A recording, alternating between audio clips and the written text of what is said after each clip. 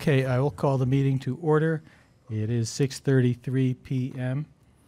And um, we have uh, one council member who is on her way and two council members who are appearing remotely. So I'll ask the remote council members to introduce themselves.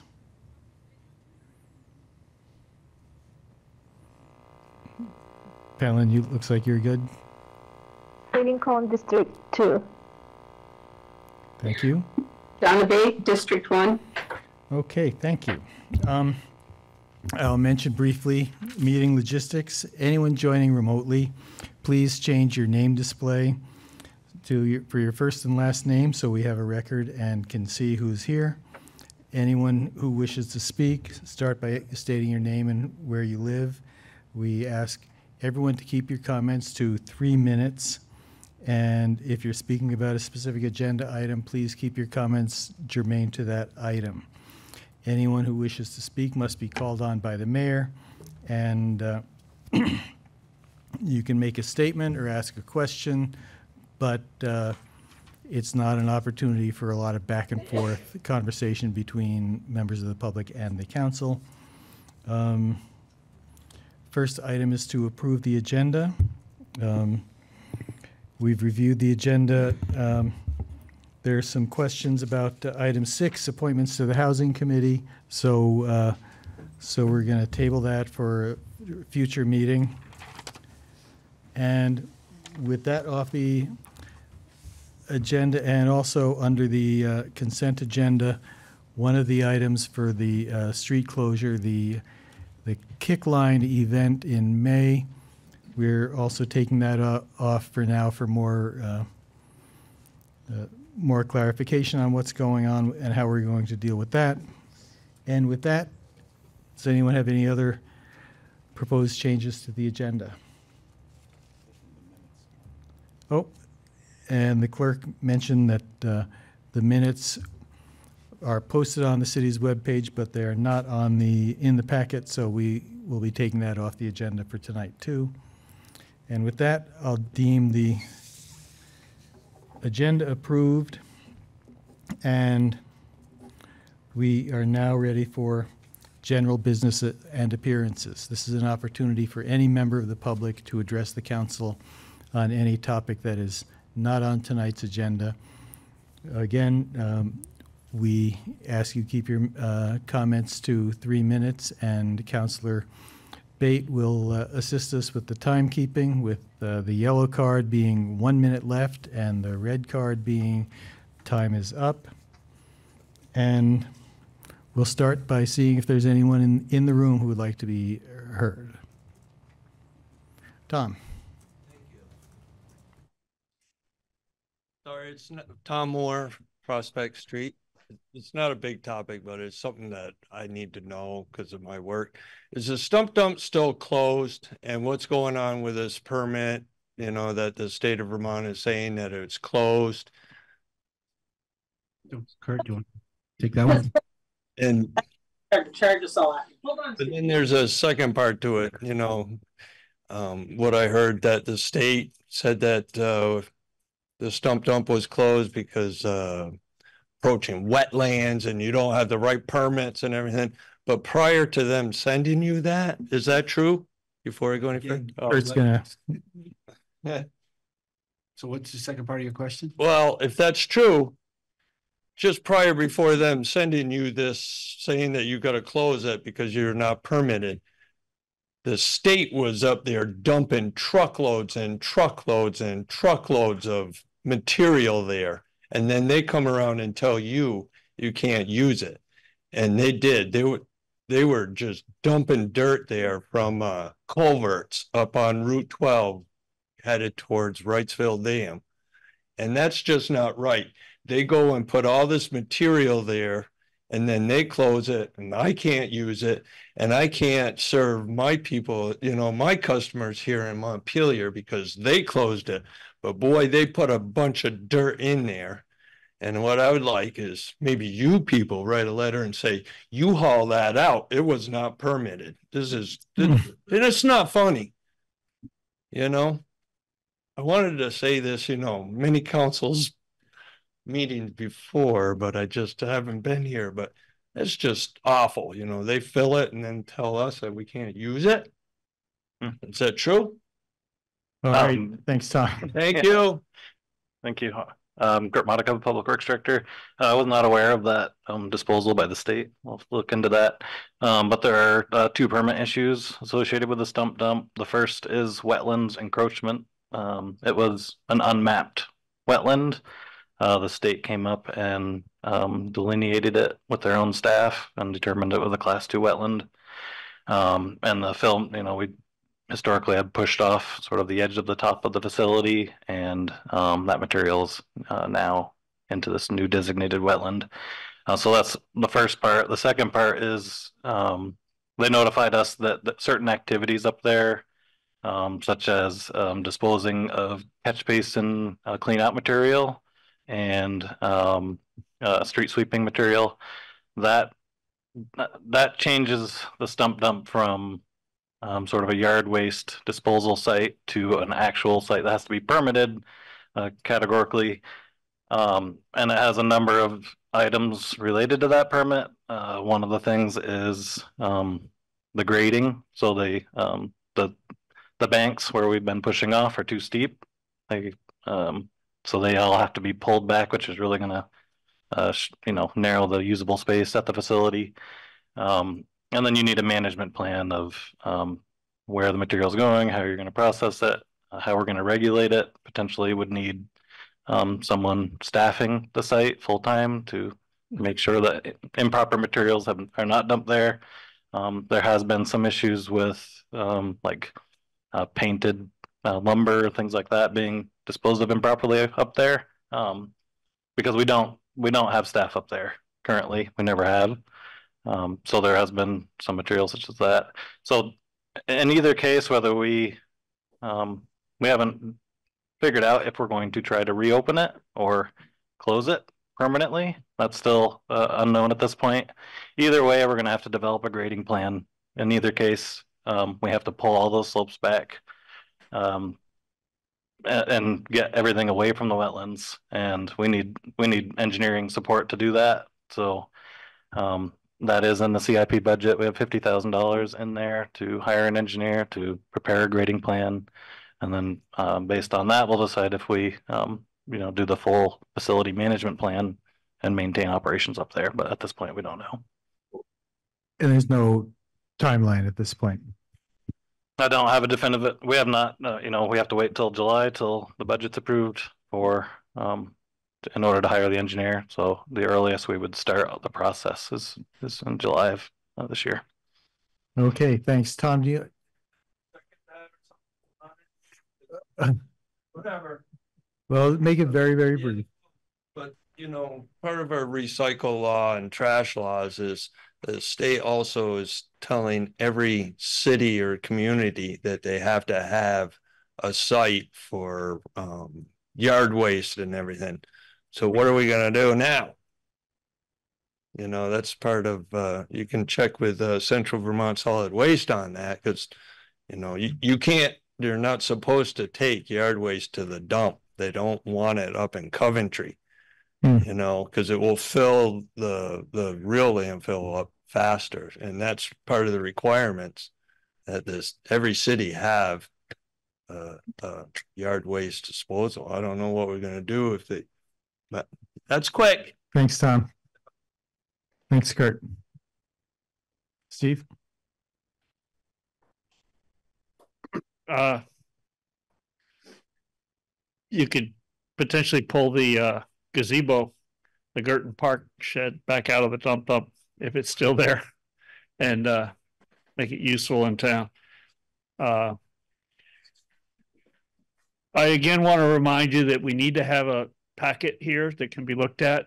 Um, it's hard to talk before the meeting about what might need to be pulled off the consent agenda if the supporting materials aren't here. It's just absurd that I should have to ask this many times for there to be a packet in, in the room with the meeting. Um, the, similarly, a shower, I don't know how we gave a certificate of occupancy to the shelter at the Elks Club if there's not a shower there. You can't permit a house or any other living situation without a bath or a shower. So how did we basically skirt the rules here? It's really a denial of dignity to the folks that are staying there to not have a shower. And to bring it up month after month and no action, no plan is is really uh pathetic, you know? Um the are we gonna talk, are you gonna talk about Elks Club in the budget discussion? Is this a public hearing? I don't see a public hearing warned on the, there's not a public hearing. So are you gonna be talking about Elks Club in the budget discussion? I'll save comments about that. You don't know? I don't expect to, but, uh, we don't have, it's not in the budget. It'll Probably come up under the next time. Yeah. Well, I guess the reason I'm, I'm trying to ask you to start thinking about that as revenue, if, if DCF is gonna fund a, a shelter in Vermont, and I'd encourage you to look at that article about Austin. We could, for a couple of years, uh, get funding and use that, turn that Elks Club into revenue positive instead of revenue negative, uh, by dealing with some of this housing emergency, uh, in the place where we had proposed to put FEMA trailers, uh, using existing water and sewer. So I would like to have that discussion. I just don't know where the right place, time and place for it is. But if it could be revenue, that's worth looking at. Thank you.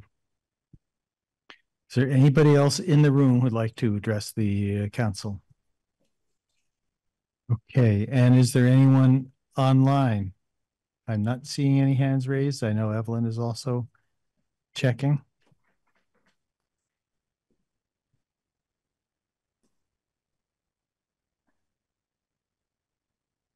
Okay, we can move to the consent agenda. Um, Is there a motion to approve the consent agenda with uh, the exception of those two items that were taken out? So moved. Is there a second? Second. Okay, any discussion? All those in favor signify by saying aye. Aye. Aye. Any opposed? Okay, great, thank you. Next, we have item seven. Mr. Mayor, if I may, just Yes. quickly, just a response to the prior comments, just for point of clarity, the, the certificate of occupancy for the uh, shelter at the Elks Club was issued by the State Department of Fire Safety, not by the city. Thanks. All right, next up, we have the use of the FEMA lease funds.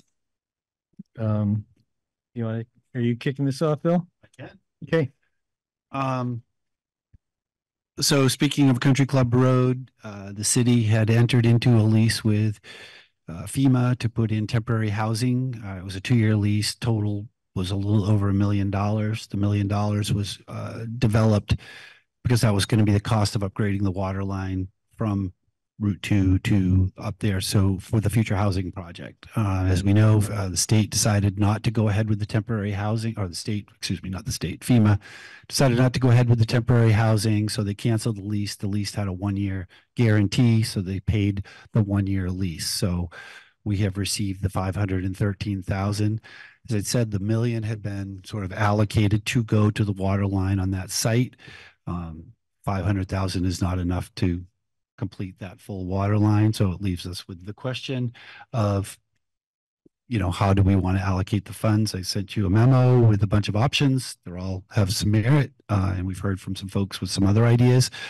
Um, I recommended the use for the Country Club Road in part because housing has been our highest priority, and it is a project to develop more housing, and because we, the reason we entered into that lease in the first place was because we thought we would be able to get infrastructure uh, improvements, including road, sewer, and other things, as well as the funds for this water line. So it seemed consistent with the purposes from the city's end of that lease. But it is unrestricted funds. It is um, up to the council how you want to allocate it. And so with that, thanks, Bill. Now, a couple of questions. I, we received, all the members of the council received an email uh, raising a question about whether there are any, uh, there's any legal restrictions on the, on the funds. Do you have an answer, response to that? Well, I haven't, um, I haven't run it through an attorney, but I can't see why there would be. There, it was a lease for land use. And it called for a one-year minimum payment. They paid it, um, the- because the FEMA was the, the tenant, uh, doesn't mean that these aren't, you know, they weren't buying housing or, or emergency. They were buying, they were renting land to put housing on. We were simply the landlord, so to speak. So there's no legal restrictions to it. I mean, my recommendation was trying to be as consistent with the use and the deal that we had made with them as possible. But it's really uh, money to the city that can be used how the city council sees fit. Yeah, I was thinking about that this afternoon. Was that, was the, was the lessee actually going to be FEMA or GSA? I believe it was actually GSA, you're right, the General Services Administration who leased that on behalf of FEMA.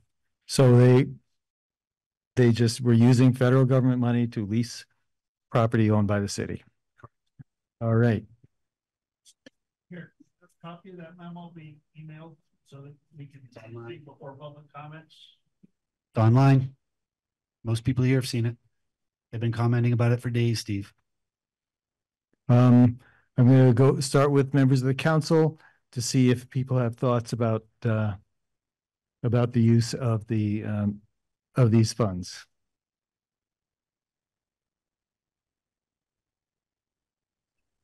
Lauren, Just a process question before getting into. So unless we're making a decision that would put this into the FY twenty-five budget, like we could not make a decision tonight and assume, like, for example, if we wanted to use it for some combination of resilience projects and um, Country Club Road, we could kind of sit on it as long as we're not making the decision to put it into the budget for next year to cut down. Okay. Mhm. Thanks. Yeah, and I did see an email from one resident saying, why rush? Why don't we take this up a little later? I don't know if there are people on the council who also think that what we should be doing is, uh, is pushing this decision off, but, uh, but that is a, a possibility. Lauren, Yeah, I mean, I guess in part I ask because I know, you know, some of the ideas I've heard, I know that there's, for example, conversations having at the legislature right now related to, you know, are we hope, are we helping residents with substantial damage to their homes? I think the legislature will do that, but we'll know soon if they're putting that in the Budget Adjustment Act, for example. So like just making a decision like that to set aside the money, I think we absolutely need to be continuing to advocate for those residents in that position. I think the state should be paying for it. Um, and if we don't allocate this money, but set it aside for a potential variety of purposes and don't put it into the FY twenty-five budget, to me, that gives us flexibility to address some of these kind of pressing timely needs in a way that seems good to me that we can be responsive to what does and doesn't happen kind of up the road at the State House. Yeah, just to follow up on that too, um, for the council's benefit and for the public's benefit, I, I testified each of the last two days about that and strongly advocated that the state pay for this, and Mike Miller was up advocating today to a different committee for specifically the budget adjustment of, I think it was ten million specifically for Barre and Montpelier, right, for those homes. Um, so, um, yeah, absolutely, we, we are pushing as hard as we can to get the funding for the folks that need it, several of them who are here, and we absolutely want to support them. uh, Donna, Thank you. Um, where's my, I, I would like, I would agree that we can put it aside, but I do feel more committed to keep it for housing and our rec department. We've done a lot of engagement over the last five, six years in consistently housing and additional recreational facilities. And we did a massive one with consultants involved very, very recently. And so I feel like we've heard from the majority. Um, and that unfortunately we may have another flood. I don't think the city can keep can afford to do it. I think the state has to take that on. And and so I would agree to re- hold it. I would prefer to hold it for the capital um, country club project. thanks, Donna. Any other thoughts on the council tonight? So, Well, I wouldn't, wouldn't mind, you know, tabling it for another meeting, but there might be uh, residents who are here online because it was on the agenda and, and we probably ought to hear from them even if we postpone it I, I agree with that, yeah. Carrie, Yeah, I, I also like the idea of um, not making a decision tonight and giving ourselves a little bit more time to think about this because I know that there are, I, I've heard from a lot of people with their ideas and I think there's a lot of more room for conversation. Um, I will say that my general inclination is to think about what was, what that money was originally intended for and to try to at least keep it as close to that as we can. Um, so that could mean putting it aside for Country Club Road development. It could mean putting it into the capital fund and then we, maybe we end up using that for infrastructure at Country Club Road. Um, and that might give us a little bit more flexibility, but I think, um, you know, whatever we can do to try to be as consistent as possible with where it was going to go to begin with. okay. Tim, do you have any, okay, I don't know if we need a motion to, uh, table it or if we can just say we're, we're gonna take comment from the, uh, public and then move to the next agenda item and plan on taking it up at another time. But I know there are people here to, uh, want to be heard, and I see that the gentleman in the- with the beard is the first person whose hand was raised, so why don't you step on up? We've got time. I read the Would you- agenda. Excuse me, sir? Ed start- Okay, I read the agenda and I'm kind of confused about the water line, the infrastructure to the Elks Club. My understanding, because I talked with the guys up there every day from FEMA, is that FEMA deemed the infrastructure sufficient for the trailers. Instead of making a payment for the infrastructure, the deal was changed to pay rent of forty-two thousand dollars a month. So we're talking different things here. Originally for the infrastructure, infrastructure was deemed sufficient and then the contract changed to a monthly payment of forty-two thousand dollars. So, sorry, sorry, sure. So good question. And all, all of the above are correct. Um, so I'll try to explain it. So FEMA believed that, that the water line was sufficient for their trailers. Uh, there was a conflict between that and, uh, fire statutes for sprinklers and hydrants, which required an upsized line. And so the city had been asking them to, because they were going to have hydrants. So they, they believed the water line was sufficient for their needs. We did not believe it was sufficient for their needs. So the compromise was they said, we will pay you enough money in a lease so that you can upsize that water line um, in the future because we needed, so we were going to be, the benefits to the city besides providing emergency housing, which was of course critical, was improved road access up into that area. Um, there was going to be some improved uh, water and sewer services to individual units and this upsized water line, which would help make, which would rapidly advance the, the ability to put in more affordable housing there uh, because this would be, come in. So the compromise was they would pay us via lease. Because originally we weren't going to charge them lease, we were just going to have them do the, the infrastructure.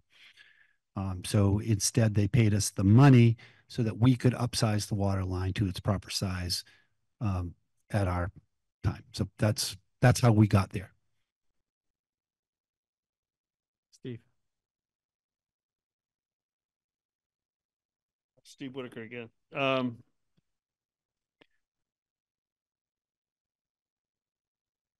The, if the water line is sufficient to support the FEMA trailers, it should be sufficient to support a small, a, a cluster or two of tiny homes, uh, which are portable and can be moved once our plan. But I would like to know, is there money left in whatever we were spending, wherever the hundred and sixty-seven thousand that got spent so far on White and Burke and engineering? And at what point, I know there's of two, two points of view, sell it or hold it and develop it. Or find a partner to develop it. And we can't really do that. We haven't completed the essential due diligence on whether the intersection with the railroad uh, across it is going to be allowed or whether a second egress is going to be required. So until those two major engineering questions are, are answered, we don't know whether to sell it or not. And we know we could develop it now and potentially get some revenue from the state to support some of the unhoused folks. But again, at the pace you've all gotten a shower for the people who are already living there, uh, I have little confidence in the current administration to get that job done. I would ask the council to consider having somebody other than the city manager put a plan together for how many tiny homes or whatever could be accomplished with water and sewer, I mean, showers and toilets in, in trailers. Uh, so basically, it's a temporary use for the land for a couple of years, as was the FEMA trailers. It helps the state deal with it and the city deal with a big emergency and Berlin and Barre, and it could produce some revenue. And we could postpone, we, we buy time by doing that approach while the engineering is done on the intersection and whether or not we need a second road. But if the second road is required, that's a whole big another discussion. So I, I would ask you to consider that approach. Makes if if there's not still money where the 167 came from, use a little bit of this money to get that engineering started. Don't even wait till next year. Okay. And that will then inform a discussion of whether or not we want to use it or sell it. Well, I think that's a useful comment, and we do have a plan. I'm not sure which meeting, but we do have a plan to uh, put the uh, Country Club Road project up for further discussion at, in one of our meetings in February. Yeah, that's just what I was gonna say. As soon as budget's done, we're bringing the updated next steps. As you know, we do have a, a, this is getting a little a feel from the funds, except that the thought about using the funds for this project was exactly for those kind of consultant work. I'm not sure that, you know, you've raised an issue about the crossing that you're the only person that's raised it, but, um, but there are a lot of questions.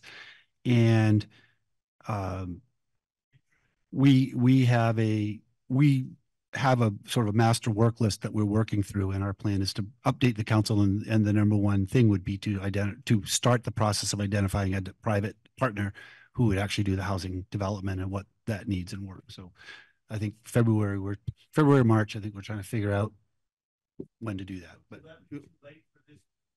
No. Because this is, so as Councilmember Hierl said, th- this came up specifically last week during the budget. There was a suggestion of could it be used as revenue to offset our current budget with the needs? And so we said we should put this on the agenda to discuss its use. So if the decision is not to use it for that, what we actually use it for could be delayed until we have more information, including whether the state funds the houses and where we are with the project and what we want, all sorts of things. Okay, is there anyone else in the room who'd like to be heard on this uh, issue? All right, come on up. Fight it out over who's go, going first. Hi there, Mary. Mary Zentera, uh, State Street. Uh, I just want to first say thank you so much for your service and um, all the work that you do for the city. Um, I am one of the many community members whose homes flooded in July. Several of the other community members and friends of mine and neighbors are sitting here in front of you. Um, my home flooded into the first floor. It's been deemed substantially damaged. That was in the fall. It is now January. My home is still destroyed on the inside. It's down to studs. It's down to dirt in half of the kitchen. There's no heat. There is no electricity. It is unlivable. This has been a really long, hard, complex, overwhelming journey. Um, most of us um, have full-time jobs also, and this process has also felt like a full-time job. Um, so we are needing some some hope and light at the end of the tunnel. Um, so um, I am one of the many people who signed up through FEMA for one of the trailers at the Elks Club because I um, was displaced like many people, and it was really hard to find housing. And I was excited that that was maybe a possibility. So my name was on that list, and then it became clear that it was going to take quite a long time to to get the infrastructure in and for the trailers to be placed. So I ultimately found housing at the end of October. It took three months to find housing. So, you know, my thoughts are we're in this place of being deemed substantially damaged. We cannot rebuild as is. And these are our homes and we have limited options. One of the options is lifting our homes. And we need the funding for that. And so because this money has come from FEMA as a result of our destroyed homes, the devastation that we've experienced, it feels really important that this money be earmarked at least temporarily until there's potentially another funding source, hopefully from the state, to be able to support us. It came as a result of our loss, our devastating loss. And I think that it should be used to support us in becoming whole again. Thank you. One thing, I, I'm glad you were here because Yeah. one thing that, uh, you know, the city was in a strange position with regard to FEMA's cancellation of the housing because we weren't deciding who was going to be in the trailers. We weren't finding people. Well, our sole role was to be the landlord for them is that when they put the trailers up there. And so I, I think when they said they're not doing it because the, the people all have alternate housing, we weren't in any position to question that or challenge that or anything else. And so it sounds like you have had, been able to find alternate housing, whether it's as good as where, where you would have had up on the hill or not, who knows, but I'm, I'm glad you're in some place that is habitable now and, uh, is, it is it safe to say that the other people who were in your position also were able to find some kind of al- alternate housing? I'm living. No. Okay, I was assigned a trailer, the trailers are gone. I waited for the trailer, didn't do anything. I'm live, I'm still sleeping on a daybed for seven months. And I, My- In my daughter's death. And I found a, I found a, a, an apartment, but I have not received any funding for that apartment, so I've been. Can they come up and speak at the mic, please? okay, yeah, Hi. thanks, thanks, Donna, I'm sorry. Swick and I have a house on Elm Street. I don't live at that street, but I um had my name also on the list for the FEMA trailers and again, it was the same situation as Mary said, well, the winter's coming and I don't have heat and the trailers aren't coming anytime soon, so I have a place to live, but I have not received any of that funding from FEMA. So I've been paying for rent out of my pocket and mortgage and taxes for the past four months. So that is really putting me in a very tough situation. Um, and again, the basement flooded three weeks ago.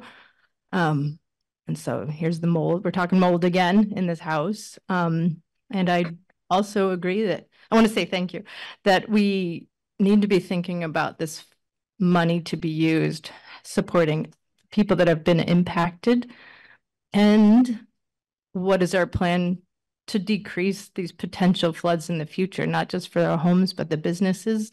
We should be thinking about how we can use this money. Um, my street was again flooded today with six inches of water and it still has not been plowed on the sidewalks. Um, and I know we have a lot of water this year, but maybe we should be looking at what else can be done. Um, and but also how to how are you going to help us with our homes? Maybe we'll get the money to lift it. Maybe we don't. And what are we going to do when we need to do buyouts? How's the city going to be paying that 25% that the FEMA's not? You know, FEMA covers 75, the city's supposed to cover the 25%. So there's also money there that's, you know, to help us maybe moving to higher ground. Um, if the housing, our current houses don't work out, if we have to live in those places again. So I want to think of all those different points. Thank you. Thanks. I'm Lisa Edsonova. I live on State Street in between Mary and Ed. Um, my place flooded to the bottom of the countertops while I stood there and watched it all go under. Um, I bought my place completely eyes wide open. My family's been in this town forever. I mean, I'm an Edson. I'm one of the printer Edsons, not the pharmacy Edsons. Got to separate the two. I don't know why, but it always is. This has been the most traumatic experience I've ever been through. And it wasn't the flood, it's been what's happened since. It's been the turmoil, it's been the lack of answers. I have two school age kids. We are living in the home. This morning, I dug out the snowbank so the water would drain from the street. We stayed because we had nowhere else to go. The trailers, you know, uh, several of the folks in the room know that I wasn't a fan of the trailers from the beginning. I wanted permanent solutions, something that that the money wasn't wasted, but where it would go to a permanent solution. And for me, I'm saying the same thing the other folks are. We'd like to see the money go to something flood related. It was our tears and our loss that this money came from, and it feels like it should really go back there. And just so that folks know, I had full insurance, like most of the others sitting in this room. My insurance paid out at less than half the policy. It isn't that I didn't buy enough. I have homeowners, I have flood insurance. I did all the things you're supposed to do. And now I'm in a situation where to raise the house or to demolish it, there isn't any money for that. And so all of a sudden, I'm in a situation where I came into it. My house had not seen water on the first floor since 1927. It was flooded in the flood six months before Irene in the basement, and it was remediated really successfully. They brought all the utilities upstairs, they were moved onto lifts on the first floor, and it survived Irene with the water just getting pumped out of the basement. It was fine. When I bought it after that, I knew all of this and I knew it hadn't been hit since 1927. And I bought with confidence, having weighed out the value of the home the apartment, and the ability to have my kids in this school system. If we get pushed out of this, we lose everything. I can't afford to buy here anymore. I can't keep my kids here. And to hear that this money is for infrastructure for something completely separate while we're experiencing this. And again, I live in a house with no kitchen. We have a countertop that's made of plywood. We painted it turquoise though. Um, it's so hunting camp countertop. We have a sink. We have a toaster oven. We have a grill and we have a we do have a full size fridge that someone loaned us, but we have studs. And the only reason we have floors is we put $40,000 into drying the house out and putting in only insulation in the exterior walls and the drywall. And we did that because we had nowhere else to go. There weren't apartments. FEMA didn't come through on anything. They offered me a trailer in Cambridge. How do I have my kids in Montpelier and take care of my parents in Groton if I'm living in Cambridge. So we're really hoping that this money will go towards something having to do with the flood resiliency, because that's really where the money came from. Thank you. Thank you.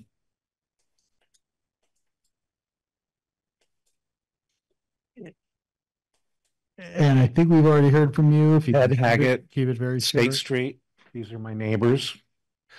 I lived in my house for forty-seven years.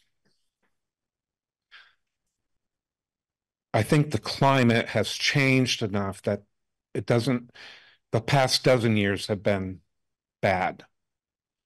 Um, and I don't see it getting any better. So we kind of have to get out, elevate, demolish, get out. Um, I raised my daughter there. The flood was on my 70th birthday. I worked for the state of Vermont for children disadvantaged youth for 35 years. And I saved every penny I could to pay my house off. It was my retirement. It's gone. It is no more. Do you understand that? Lauren's been down. Donna was down. Uh, hey, Donna, you there? Yes, Ed. Oh, um, Donna came into my living space and the water that came in was over the top of her head. I had 59 inches of water. No help. We had my son-in-law, my daughter, and I took all the wet out. It probably cost, I don't know, $20,000, but there was, we had to do it. You know, we did it and you know i'm i'm trying to maneuver all these things and there's roadblock after roadblock. Fema's great if you had two feet of water in your basement. Fabulous. Sba i've been wrangling with them for five months. I have to go into debt to find a place to live. Oh and i was a fema trailer. I think i already said that. Um waited waited waited waited some more they call every week and say, do you still want a trailer? You want to go to Braintree? Uh, no, you can't get there from here. I had to explain that whole thing to a FEMA person in Euclid, Texas. The I'm over the trauma from the flood. My trauma now is everything that has come after it. Denial, denial, denial. Different stories from different people. It's been a nightmare. I kind of lost my thoughts here, but that's this is what's happening. We we can't wait any longer. We can't put this off until you guys decide, you know, ooh, what's the best thing? You know, the governor wants all kinds of studies. Are you kidding me? You're going to push this out for another how many years? A buyout takes three to five years. Ask Josh. And I talk tell with you, him every day. Mr. Haggett, you're at your limit, so if you could wrap it up, that'd be good. I'm wrapped up, babe. Thank you. Ten seconds. Ten seconds, literally. I think this sheds some light on the emergency of the flood displaced, but it also should shed some light on how long you've neglected the unhoused. Anyone else here in the, in the room would like to be heard on this topic?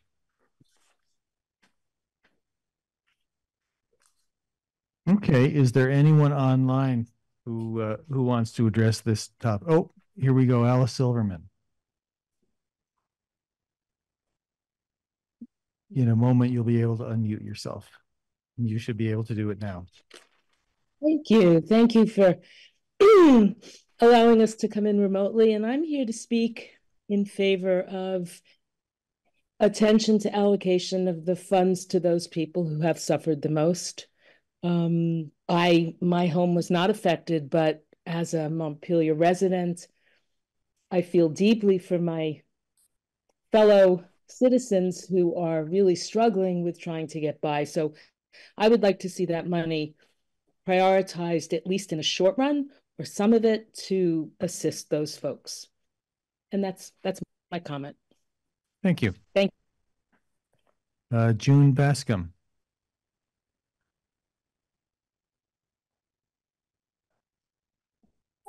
bear with me. um, she, I was gonna, I was gonna make myself visible. Can you hear me? We can hear you, can't see you yet. Yeah, I'm working on it. Huh. Vanished. Um, sorry. I'm gonna, in the interest of time, I'll just speak. Um, I, my name is June Bascom, and I uh, just lost what I was to say. Bear with me. I am really doing too many things at once.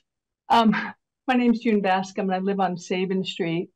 Um, there's much of what was said today that I've just really not been familiar with and what state funding might be available.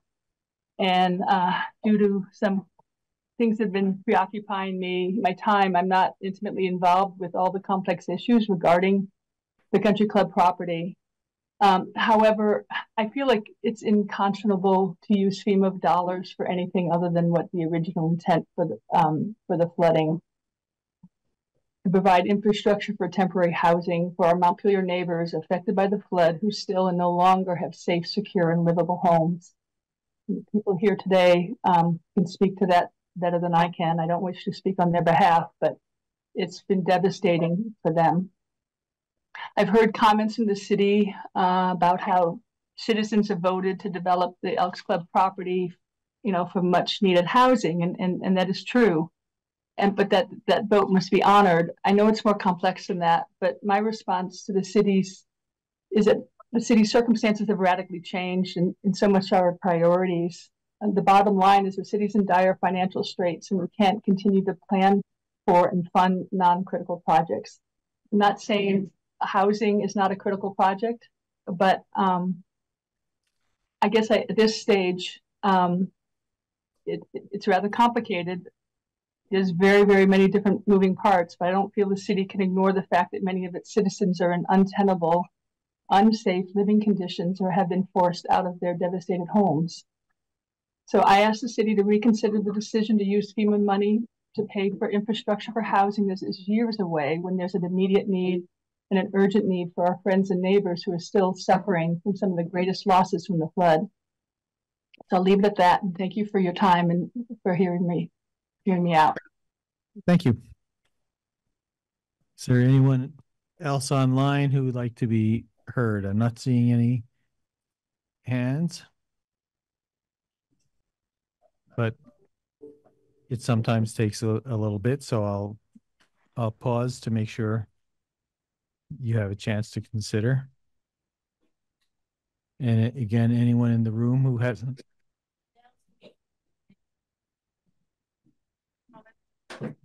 We very much do. And uh, those are all public record. And if we, uh,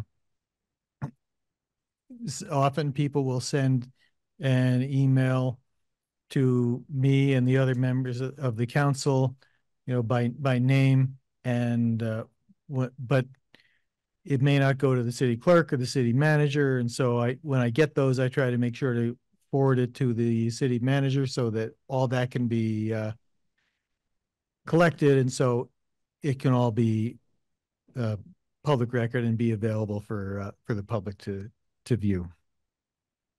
Um, council members, where are we? Still, still where we were before, not ready to make a decision tonight? I, I think I would, well, we don't have a motion pending, so there's not really anything to table. So, uh, so thank you all for coming. We will take this up, uh, at a future meeting. I'm not certain exactly when, but again, everything that's been said tonight, everything that's been, uh, said in emails is, uh, is in our consciousness and anyone who wants to be heard will have a chance to be heard at the future meeting whenever we take it up again. And I just had a quick question actually for the folks that spoke. Do you have, try to think about if we, if, you know, if we were to do that, what, do you have cost estimates? Like we have, we have a finite sum of money. How would that, like, what, what do you all need? Do you know, you, you don't have to answer it now, but if you could send it just so we would be able to weigh that against, I think, you know, it's sort of, would this help one person? Would this help two people? Would this, you know, what, how, how far does this go and what would we do? And then obviously, you know, I'd have to talk with how many houses, homes were in the substantially damaged category. I think that's, is eight, I think. Right, right. I believe that's correct. So we just need to figure, is that the universe we're talking about or so those kind of things, if, if they want to go, but, and I would just say, I don't want to, um, say this just to make you feel good, but we are pushing really hard with the state to, to try to get them to, to pay for it. Like I said, we've had three visits in two days, um, urging them and our reps introduced the bill. And there is, like I said, there is a budget adjustment act. So that wasn't even, uh, for 10 millions for Barre and Montpelier for this specific purpose. So And what we're really pushing for is to get that issued for people who don't spend their, lives in the state house the way some of us do. The Budget Adjustment Act means we wouldn't have to wait until July when the new next fiscal year's budget comes. It means that the money would be Correct. issued in the current fiscal year and it would be there. And so we're really pushing for that because we know the need is now. So thank you.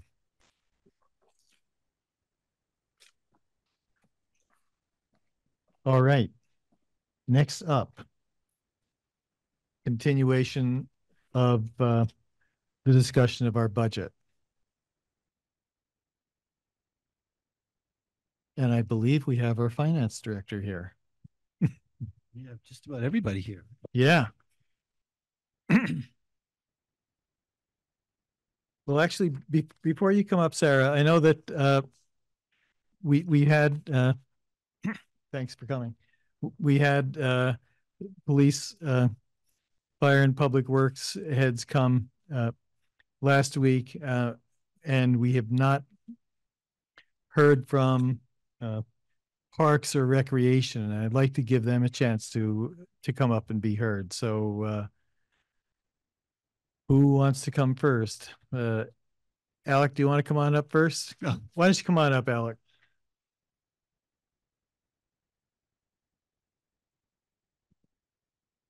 Um, I believe that got tabled. So the question, I just got a question about, we take up housing committee opponents. They got tabled because there was a question about, we didn't have the memo from the housing committee. Right. So, so we took that off tonight's Right. agenda. You know, is it? next Yeah. All right. I'm Alec Ellsworth, the Parks Director. Uh, I'll take half of Arnie's budget for going first. Since he wouldn't rock, paper, scissors me.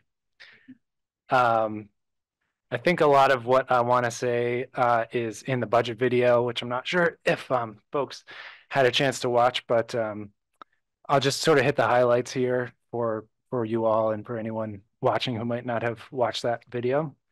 Um, but we um, sort of manage two budgets. We're parks and trees. Um, and so we are, I got the exact numbers from uh, the, the finance department, 2.725 parks and 1.15 trees. Uh, I'm not sure how those numbers came to be, but that's what it is in the budget. We're um, $375,000, just for a sense of scale, we're $375,000 general fund transfer to parks. Um, about 77% of that is personnel. So just like you've been hearing from other departments, we're very personnel heavy. The tree budget is $107,000 and that's uh, 88% personnel. So um, it's a big, big gap this year. Um, you know, we're trying to cut a million and a half dollars or so uh, in our budget Congress. And those, you know, that, that means our department three times and you're not not quite getting to what you need to get to um, for to meet our our target of inflation. So, yeah, it's a tough year, and uh, trying to trying to do what we can to help with that budget. You know, like you've heard from the other departments. I mean, we're talking about firefighters, police officers, really important stuff to the city, and um, you know, likewise, we we have very significant cuts to the parks and trees budget. Um, with you know, basically since we're so personnel heavy, there's there's not really anything at this point after multiple years of um, tight budgets in our operations to cut. Um, so uh, what we have in there is uh, basically all of our summer staff and our two AmeriCorps members. So that amounts to about sixty-five thousand dollars, um, and that's about 12, 12 the two different AmeriCorps members are different prices, but let's say twelve thousand dollars per AmeriCorps member, and then um, about thirty thousand dollars in summer staff. Mostly goes to our Youth Conservation Corps. Um, uh, we also the Parks Commission, sort of similar to how other committee budgets were cut. The Parks Commission has a five thousand dollars sort of working budget that's parked in our budget, so that is out of there. And then we also have some money on the revenue side that has come up um, that we are going to raise through grant money um, that we have, you know, yeah. So, so an extra $10,000 per year in grant money. Um, so that, you know, that's basically everything that our department could put on the table uh, before you start getting to live bodies, you know, full-time people who are staff members. Um, we have four people, um, or almost four if you add up those numbers.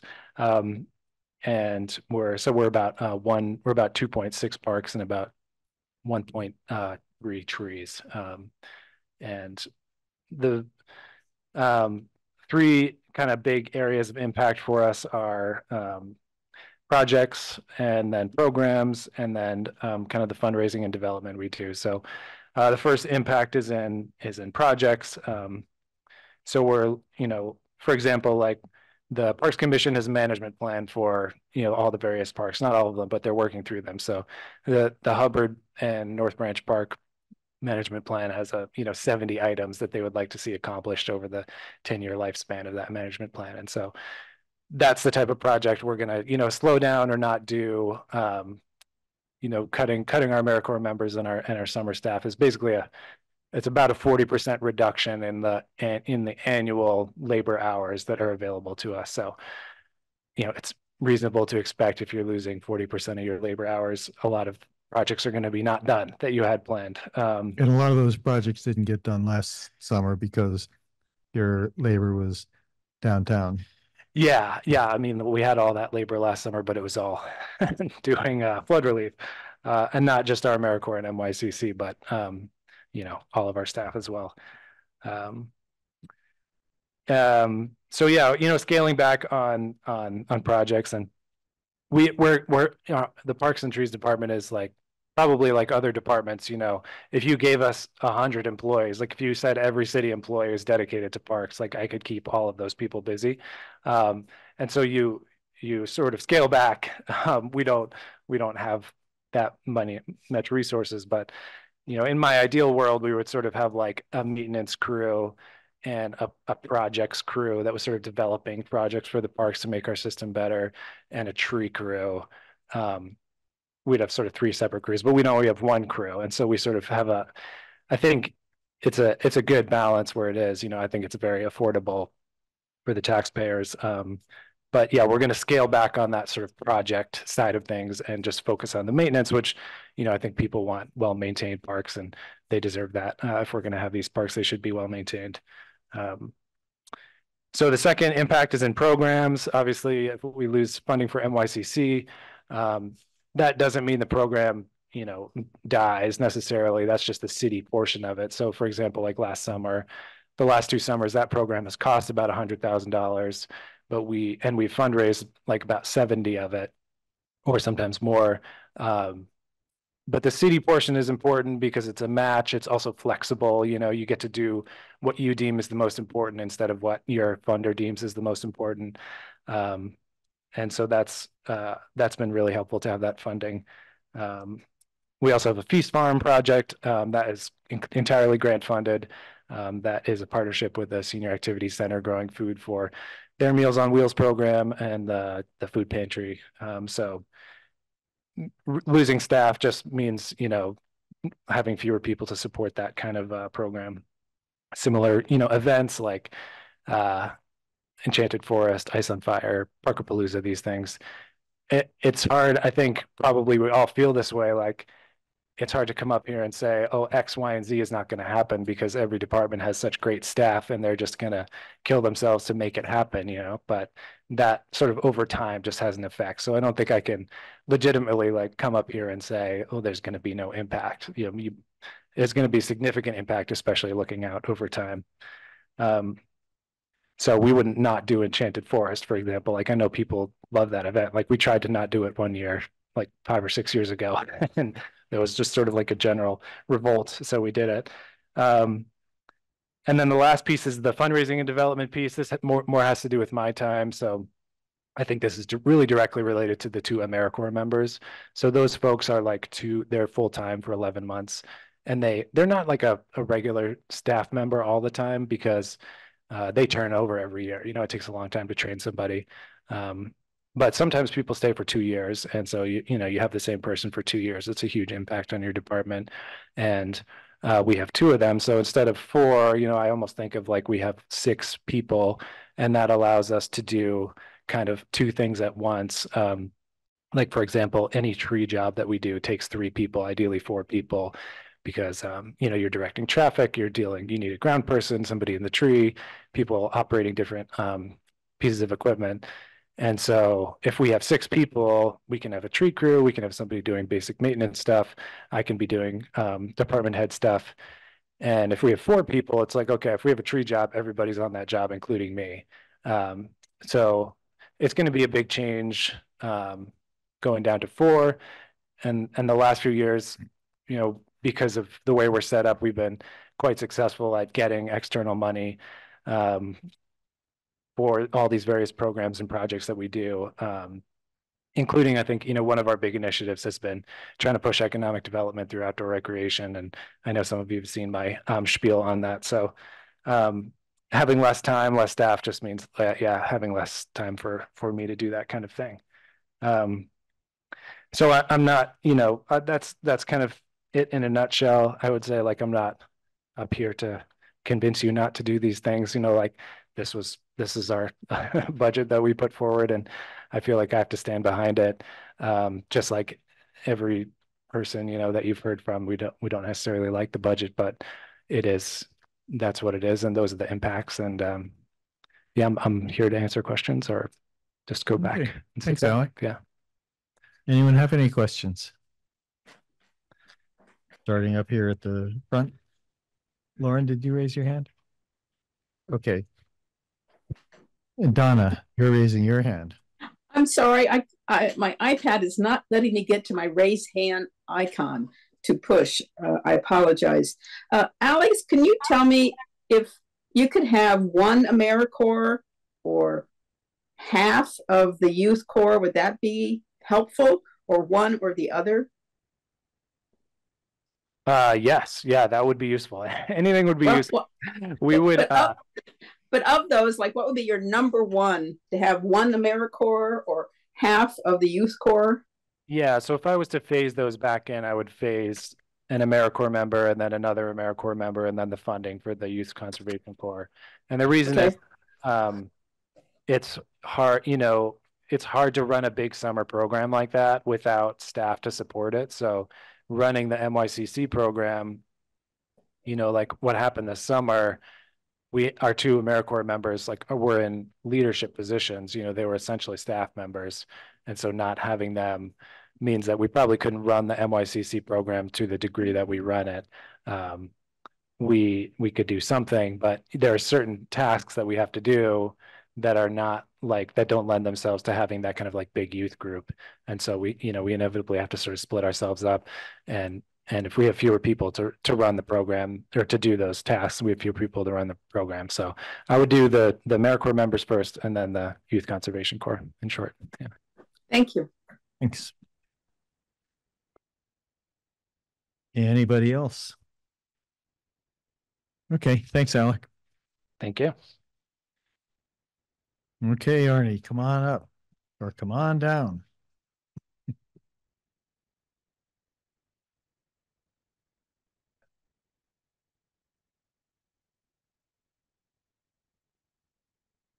Hi, everyone. I'm Arnie McMullen, um, the Director of Recreation and Senior Services. Arnie, you may need to pull the microphone a little closer to you.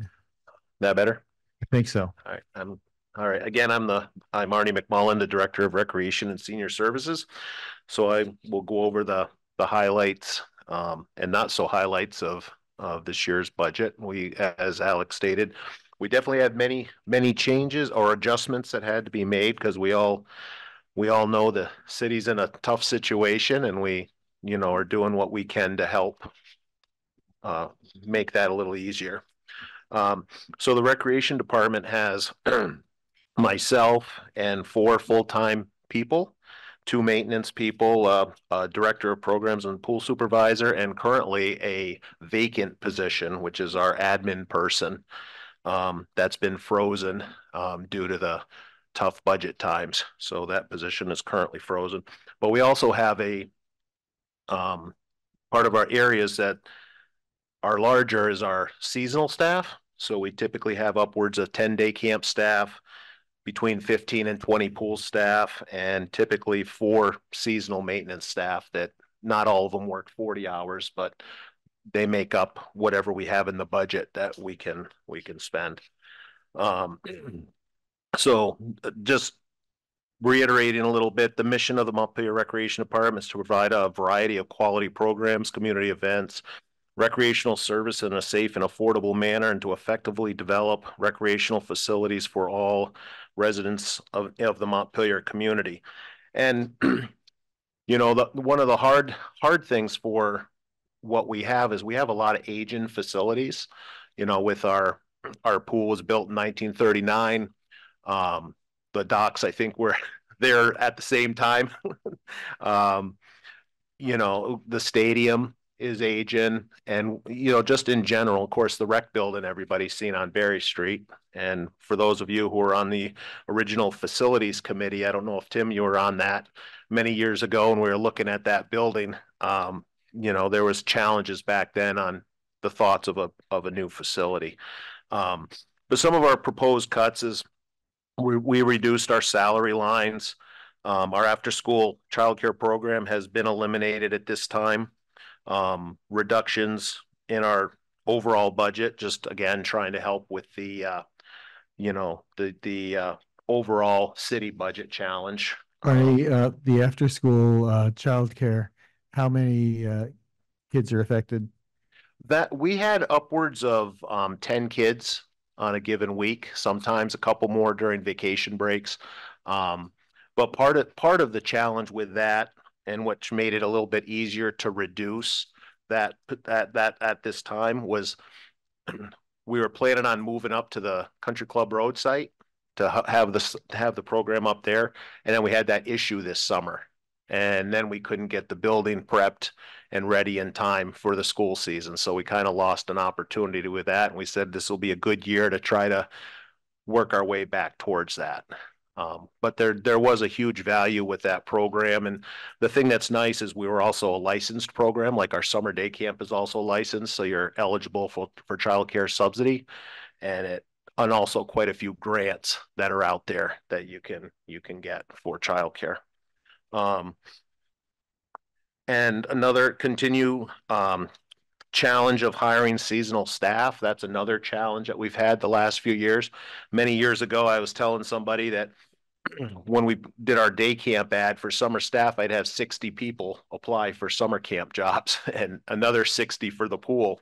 But it seems like it's getting more and more challenging with the youth of applying for some of these positions. So those are areas we continue to work on and to try to recruit kids to come out. Um, so again, along with our challenges, you know, with staff reductions, um, budget limitations, and um, meeting indoor recreational needs. Right now, we pretty much only have the recreation center, and we are trying to work on developing the use up at the Country Club Road site. We got some work to do up there, but funds are really tight to even prep that space. Um, and then for those of you who might have noticed the Dog River Fields, we had them pretty recovered, but going into the fall and we got hit with another flood. So, but I was telling somebody that's why they're athletic fields because you can't build on them. So we'll drag them out and add some more grass seed, hopefully. So opportunities going forward as um, you know, planning planning to talk about more about the future of the country club road site development to see if there's an interest in people wanting to see a, a future community center up there, um, working to develop more programs and special events. And, and this was also part of it, community engagement for the future of Country Club Road. So, so those are some of our challenges. Recreation's always, always tough. Um, everybody wants, you know, everything and we try to do as much as we can and um, but similar to all the other budgets in the city. You know, our budget is also um, the majority is made up of staffing. You know, between seasonal staff and full time staff, it it's probably about seventy percent of our budget. So. One thing you mentioned, you mentioned the uh, issues with the with the infrastructure, like the pool, the stadium, and so forth. When when work has to be done uh, on on those facilities, who does it? A lot um a few years ago i had two maintenance guys who were one was with us for 32 years was super knowledgeable um and had a lot of uh, technical skills. So he actually did a lot of the fixes um and then his his assistant also had a lot of carpentry skills so we're able to do a lot. Um now we're still working on that. I sometimes will go down with the guys if they're uncomfortable with some of the projects we're trying to do, and then I'll help them through the project to make mm-hmm. sure that nobody gets hurt or something, you know, goes the wrong way. Um, because I can't tell them I don't know how to do it, so I got to show up. Um, but we got a, a young crew. You know, one of the folks that is on our maintenance staff came over from DPW, um, who also helps with plowing again this winter. So he helps the city with that. So we're kind of sharing a little bit. Um, but we try to do as much as we can in-house. So if we're painting the pool, we'll, we'll our staff will do that versus contracting it out because contracting obviously costs a bit more money. Okay, thanks. Anything else up here? So, uh, thanks, Arnie. Um, I, I don't know much about the child care program. Fortunately, my kids are grown. um, if it is it a free program, and if it were restored, where would it, where and how would it take place? My my hope would be is that if we could get it restored um, down the road, it'd be to host it up at Country Club Road. Um, there's a lot of outdoor opportunities up there for um, for kids to explore and play, and um, but you also have a great indoor space in part of the center. Um, and if you can, and if you get the following, you know, with after school childcare, it's it's quite an opportunity, not just for the families, because we actually were probably on the lower end of childcare cost, um, you know, in the city. Um, some of the other programs charge quite a bit more than we do, but we tried to, you know, my goal has always been it's not necessarily the folks that have the money who can pay a higher cost program or the folks who can't afford a program because that's where the subsidy comes in, but it's the people that fall right on the bubble who are like $5 over their income and can't afford a program. So we want to make sure we keep that affordable for people. Yep. Lauren. Yeah, thanks. Just just on that as maybe the only councilor who still has an elementary school age kid who's in after school care and it's been so I mean he fortunately has a spot but it's been like a lottery it's so hard do you do you know the state of kind of availability right now and what kind of gap this might create for the community or has it has the um, kind of capacity of it increased in recent years? I know it was really tough for a couple years, and then it seems like it got a little bit better. But just, I I think um, I think more people are starting to bounce back towards childcare again. Um, when we actually got this program started, it was pretty pretty much right around COVID that we got this started, and we were renting a space next door to the senior center, and which we had gotten a grant for to help with the the rent cost.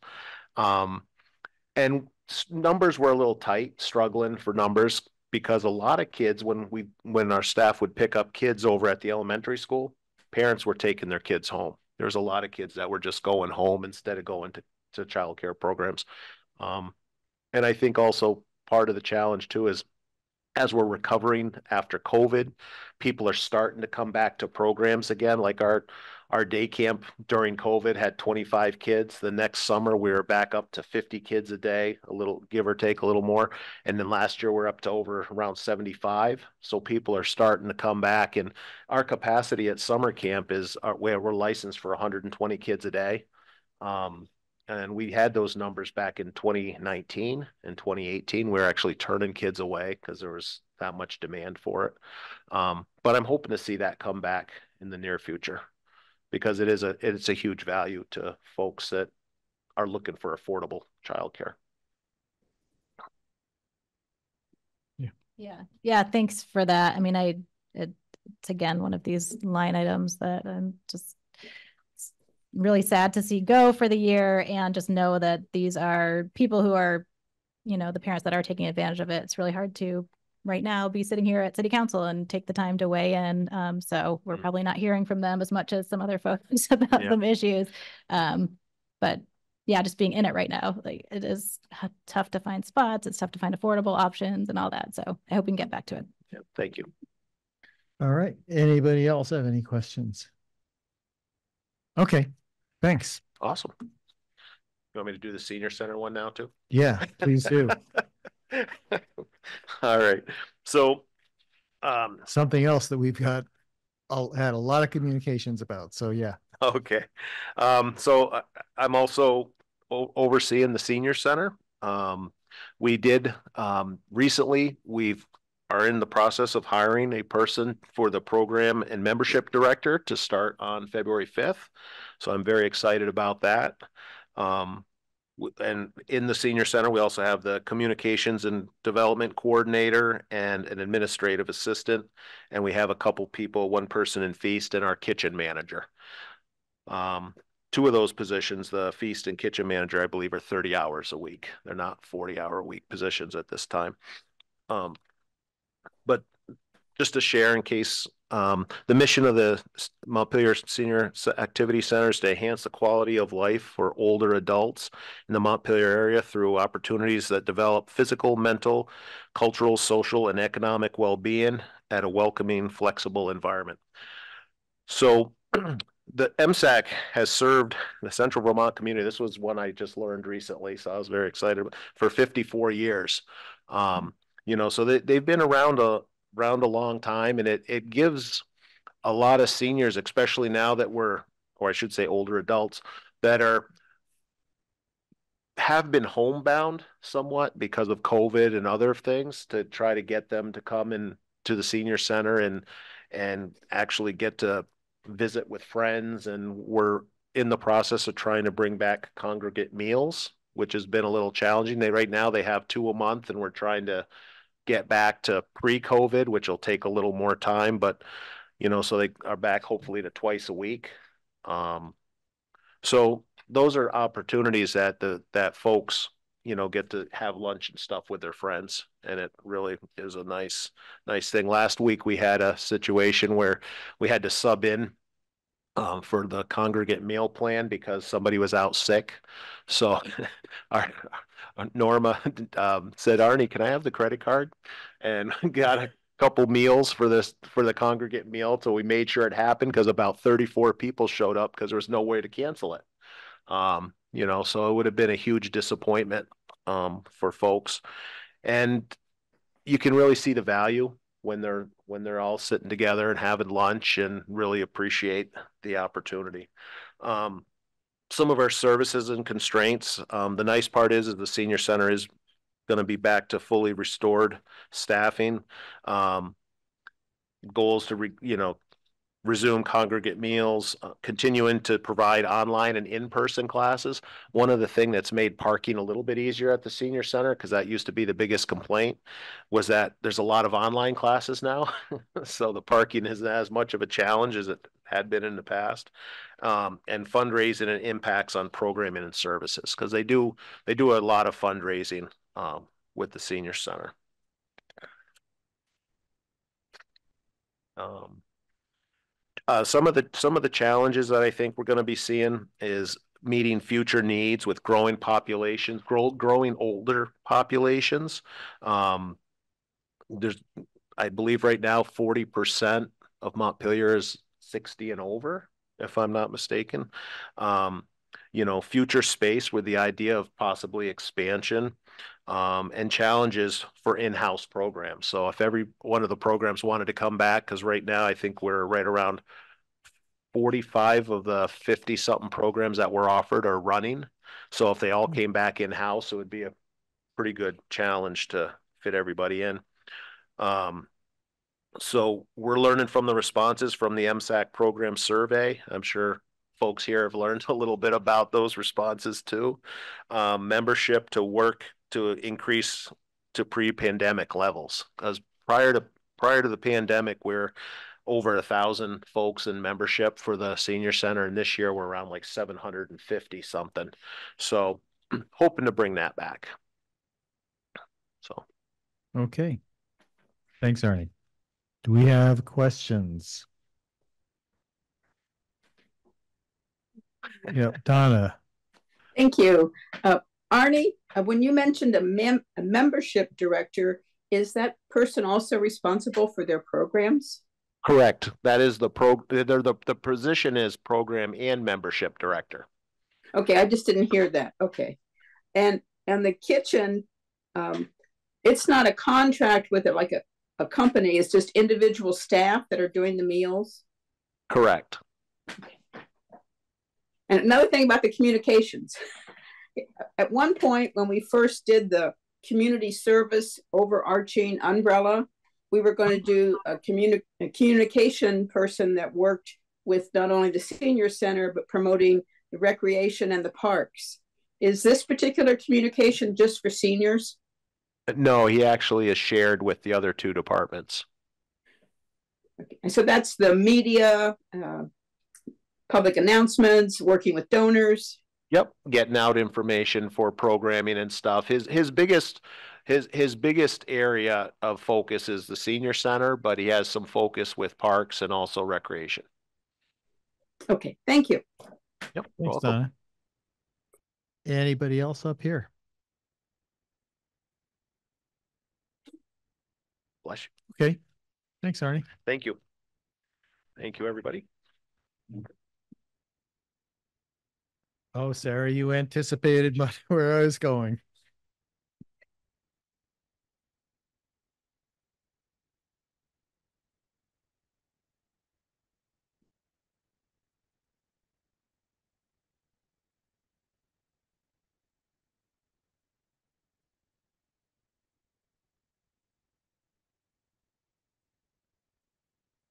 All right, thanks. Why don't you introduce yourself? Uh, Sarah LaCroix, the finance director. And you might as well put the worksheet or the, the work form up to, uh, to share. So folks, we, uh, we spent several hours on this last week and, um, and we're here again. And I'm, I'm just going to throw out an idea to see what, uh, we've, we've all got a lot of information. People have said, submitted questions to the, uh, to the administration. And I'm just, just for the purposes of, uh, getting things started, I'm going to throw out an idea and see what the, uh, what the reaction on the council is, but I'll wait till Sarah has her, her thing running. Worksheet.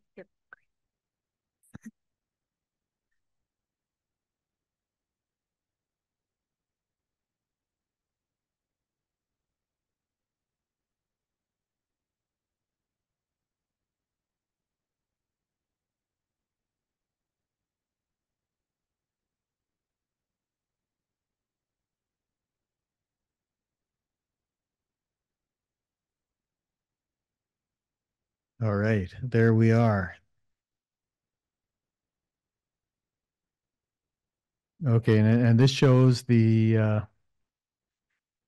the current, uh, proposal from the, from the administration with, uh, the total tax rate increase, we're now at three point seven nine percent, right? Correct. And I'm gonna throw out a bunch of suggestions and ask you to just punch them in as I, as I go. Uh, and this is based in part on conversations we've had with people, part on the, uh, what we've heard tonight and what we heard from the city manager. And so if we take this and add back a firefighter position, that's eighty-eight thousand, right? Correct. and add uh twenty-five thousand dollars to parks for the two AmeriCorps positions. Um, forty thousand for my ride. And Donna or Lauren had suggested a fund, and I'll just say twenty-five thousand for now for all the boards and committees to draw from if there are uh projects that they see as being valuable, and we can just talk about how how that would be designed. My questions are, one, where does that put us? And two, how do people on the council feel about uh about doing that? And and then calling it good, no more additions beyond that. Um, so that would add, um, hundred and seventy-eight thousand dollars to the budget. That's one point three four cents on the tax rate. Um, that would make the, um, budget tax increase to five point three four percent. Um, the average homeowner would see, uh, the average homeowner at about three hundred and seventy thousand on a home value would see a hundred and seventy dollar tax increase. Uh, yes, Okay, Carrie. so I just want to make sure I understand how this, this worksheet works. Yeah. Um, so you said the overall increase would be five point something percent? Five point three four And where is that? Okay, and I just, I have a copy of this up here. Um, Right down here. okay, all right. So I'm just not understanding how this worksheet works. So the four point seven four percent where it says percent increase, Yep, so that's. what does the- that mean? That's a percent increase in tax revenue. Um, Okay. they don't equate to the same, which is why I put the column on the um, bottom right to show um, what the base tax rate increase would be and then what the options would do to the base tax Okay, rate. thank you. Sorry. And then, yeah, that's great. Then just one more question, Jack. I'm sorry. I, no. I didn't quite, I missed the first twenty-five thousand dollar figure. What was that for? The two AmeriCorps positions. Oh, oh, at no, the- but- At Parks. But that would only be one AmeriCorps position. It's two. Oh, I thought it was like in here at fifty, okay. That, that was Alex's testimony and that's, Yeah, it's twelve each. Thousand would be two? That is correct, it's two. yeah, keep going. Okay, sorry, then I have a question about the parks budget. Um, so the FY twenty-four budget for AmeriCorps and summer wages, it says, is fifty-four thousand, so is that other people besides AmeriCorps? Oh, okay, okay, okay. I see, great. That- The answer for those that didn't hear it is that that was also the Youth Conservation Corps as well as the AmeriCorps. Hmm. All right, that's you, Carrie. You're, you're not, you haven't exhausted your opportunity to speak. So if you have any thoughts or Uh, questions. no, I'm gonna digest this, uh, Uh-huh. next, um, Okay, and yeah, thank you.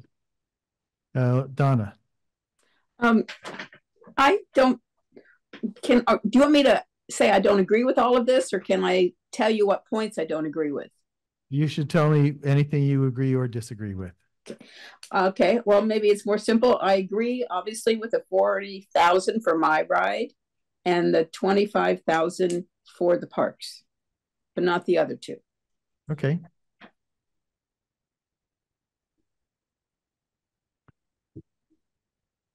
Karen. Okay, um. So I'm, I'm also, uh. Um, I like the forty thousand for my ride. And I like the eighty-eight thousand for a firefighter. Um. If I were gonna add more beyond that, I would be more inclined to add more back for a DPW position, so the, the eighty-eight thousand for DPW. And not the committees and not the AmeriCorps which would be a higher increase than, than what you've proposed here, I realize, so. That would take it to, uh, five point six eight percent. Which might be too much. Okay. Donna, Oh, I already spoke, sorry. oh, you just hadn't put your hand down, okay. Anyone, else? Tim, do you have a thought at this point? Well, well, good. I'm just still struggling with this process, Jack. I think it. Yeah. So we're looking at this bubble with this general fund thing, um, and we're looking at five point three four percent. Um, we know this week from an email from Bill with an inquiry from the school district, they're, they're looking at a nineteen point one nine percent increase on the school side. So when we talk about the impact to taxpayers for this, it's not whatever the number Sarah said. That's just the number for the city piece if it's this. And I think, to be honest with taxpayers, we have to look at the whole package. And we're all part of the community. I mean, it's gonna be just huge. So all we're talking about is additions and no reductions here, and I just can't do it. Um, I think we've really got to look at some other way to adjust, because we also aren't talking about we need a new fire truck. At least one, um, an ambulance that needs refurbishing or replacing. Um, we've been told about, we know the issue with water lines and we've got apparently thirteen million dollars plus or minus in today's dollars. Or critical lines that need to be replaced in the next ten years. Um. You know, we've got the tax assessment issue that we're going through, so we, we've still got impacts coming in on that. We're starting to talk about abatements.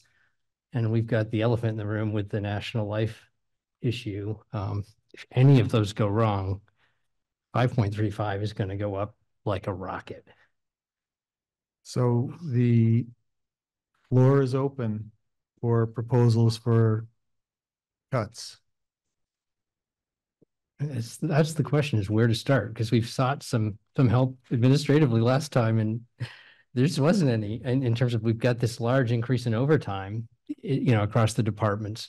And, um, I'm just not, I don't manage city departments. I'm not in this and I'm not feeling capable of, of coming up with all these places where this is happening, you know, like talking about the water plant, for example, just asking Bill some questions the other day and trying to understand, we have four employees there apparently, right? Um, Four at the wastewater and three at water. three at water, okay.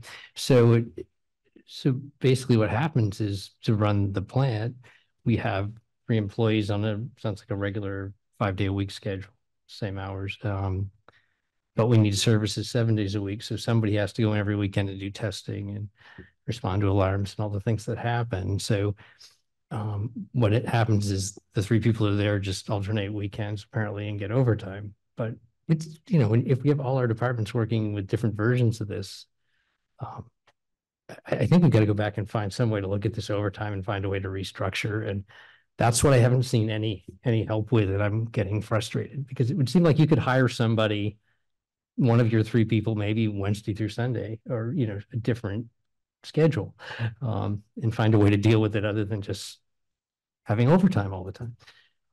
And, and I'm not sure what the options are in different departments for how to, how to look at these things, but um, it, it must happen.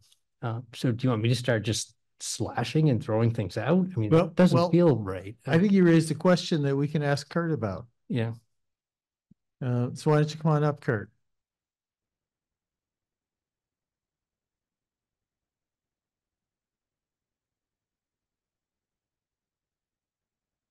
We'll see. Hello? There we go.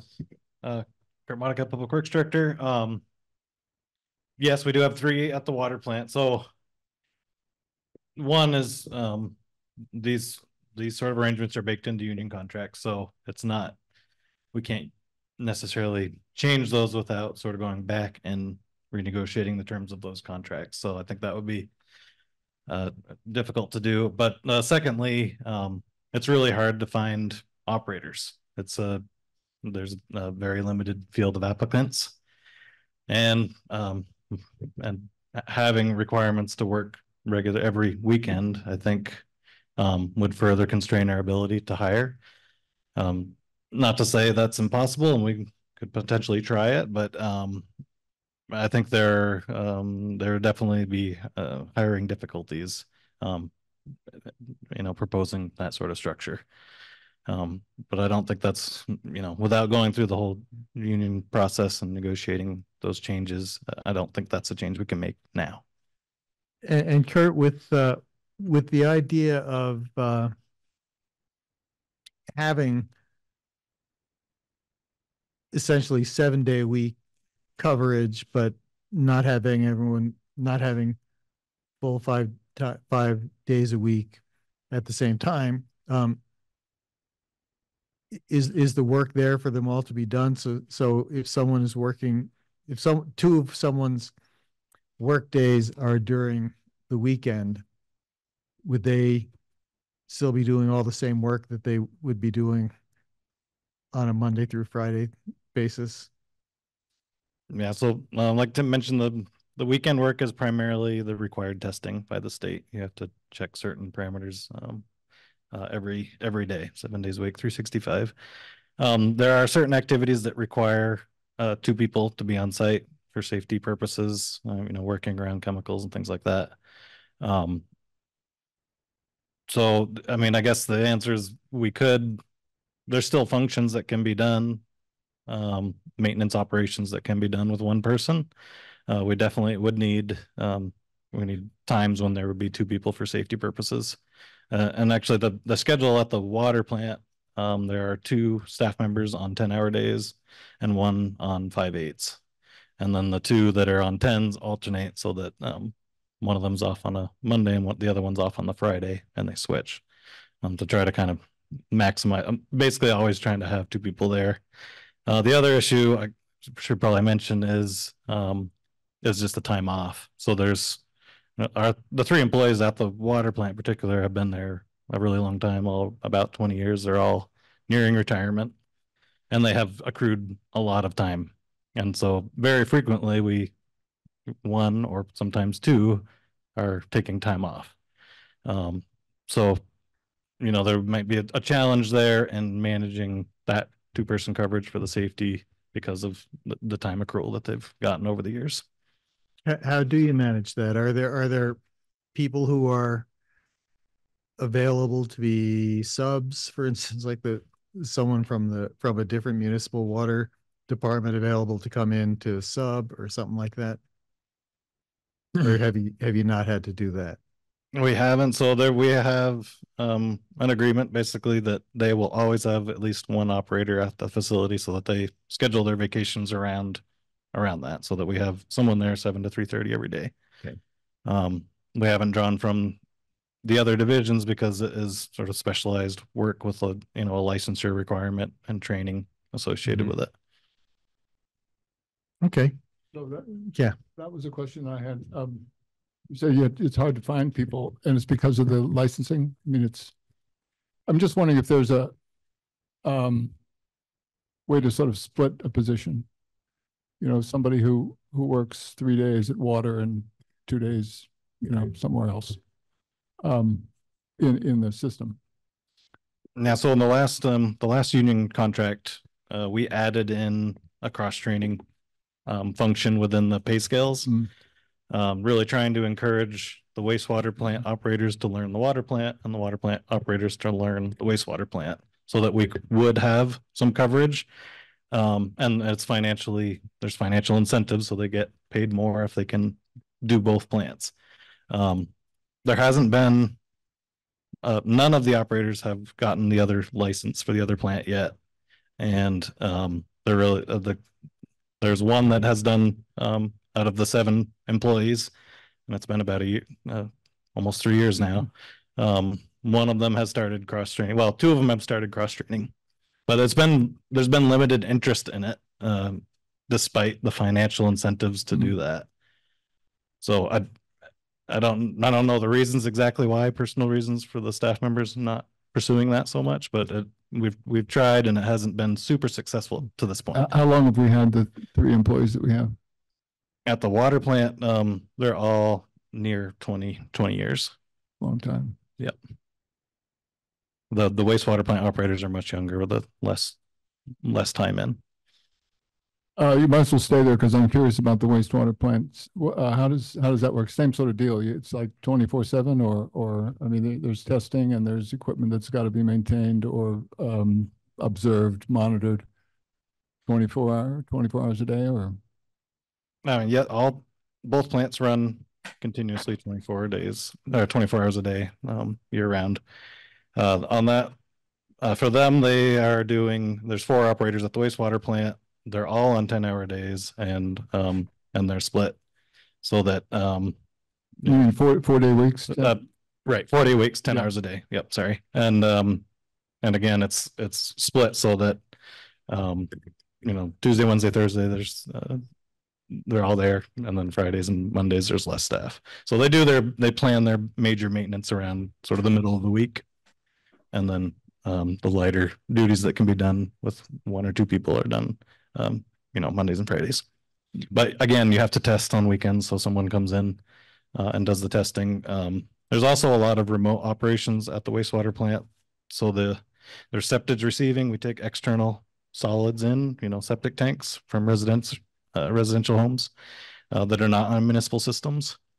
And, um, and there's functions they do remotely. We have in remote computer access that they go in, they get paid, you know, a minimum of one hour to remote in through the union contract again.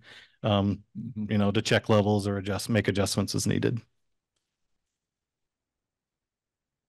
What is the, uh, what is the collection function? I, I don't know what, what that is. Right, so in the sewer budget, there's uh wastewater treatment, which Mhm. is sort of one section of all, everything to do with the plant. Salaries and equipment. Yeah. Uh, chemical costs, and then the collection is the pipes and the pump stations. So that's our staff that works out of the garage, they're the water and sewer division. So the same group of people maintain the water lines as clean the sewers and do the pump stations. Yeah, collection is the pipes going to the wastewater plant, yeah. Okay. And uh, we know that the, it's up, the systems are both operating twenty-four seven, but we don't have people actively monitoring twenty-four hours a day. That's right. They're all they're uh, on an all-call on-call rotation, so they all have pagers. Um, the person that's on call for the individual plant carries the pager, and um, you know basically there's an alarm sends out, and they determine whether they can address that alarm remotely or need to actually Mhm. drive into the facility to um, to address the issue. Okay. Uh, Donna, Oh, good. I wasn't sure you could see me. Uh, uh, Kurt, all your information is really appreciated. I have a technical question. I can't get my screen to show Sarah's spreadsheet and this group speaking. Is that because of her screen or am I not doing it correctly? hmm, hard to say. It could be you, it could be because of the size of your screen. You know, So, so on, on the screen in the city hall, you don't have just page two. You also see the people who are joined remotely. I I have the people who are joining remotely down at the bottom of the of my screen. Uh, Okay, I'll keep working on it. Thank you. Sorry. So while we've got Kurt up there, uh, when I was working with the wonderful tool that Sarah provided, um, I actually added instead of a firefighter, a DPW person because um, Kurt bounded up at the end of the meeting last time and offered a twenty-three thousand dollar grant. I said, that's great. A guy who offers his grant to get an employee deserves it. But I balanced it with, uh, so that's a sixty-five thousand dollar ad by my math. And I balanced it with a sixty-five thousand dollar cut in, in overtime somewhere. I don't, I have some ideas, but I think, I think the people who, who spend the overtime ought to rump with the pen, but I, I, I just think we, we need to try and manage it a little better and um, in ex, in exchange for a DPW, it's not a bad deal. Okay. All right, Pelin, I was told that you're you're still muted, but I think Evelyn's unmuting you or letting you unmute yourself. There you go. Okay. Thank you, Jack. Mr. Mayor. So I am not comfortable with all these additions because when we start our budget process, we discussed that it will be a tough year and we will be talking about cuts. So we should be very careful and conservative with our budget. Now we are going back and adding more. Then we ask from city because we ask them, can you show us cuts, right? How can we reduce the uh, burden on residents? Now we are adding more. So I don't know what to do about this thing. If I need to add something, I love to see bridge support there, but I don't want to do this without finding another financial resource to support that uh, 9,600. So that that's my personal opinion. I'm not comfortable with additional items. We just put it there and make the tax increase higher. Thank you. Okay, thanks. Yeah, Carrie. Oh, I I had another question for Kurt. He's still here. Um, um, Bring your chair up. I, another question for Kurt, uh, uh, just to follow up to what Sal had just said about a grant possibility and that would, is it realistic that we could add a DPW position back in for only sixty-five thousand as instead of eighty-eight thousand? Or is that, I mean, yeah, could we count on that? Tell me about that. Right, so um that grant is related to the municipal roads general permit and there's uh funding to support compliance with that. Um through what's called uh what's it municipal aid, grant and aid program. And um basically every single year we've applied, we've gotten the money and what you do is offset the work. Your your in-kind match. Um you can basically do the work in in-house and then get paid. Your staff gets paid to do that improvement. So it's things like ditching or stabilizing stormwater outfalls. Um, basically in areas as long as it's connected to um, a discharge point within the within the river. Uh, so we budgeted for fifty percent. Um, you know, half of the grant total amount that we're eligible for. And that's already in the budget.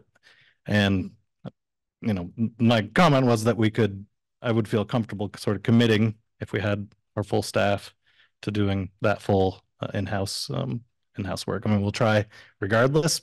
It's just, you know, I'm not sure exactly what this, the staffing impacts are gonna be.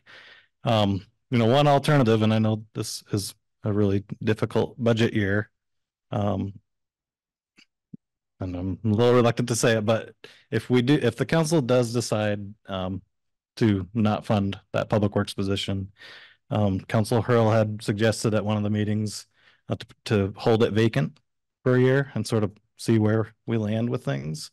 And, um, you know, I could get behind that. That's much better to me than deciding that we're going to cut this position permanently.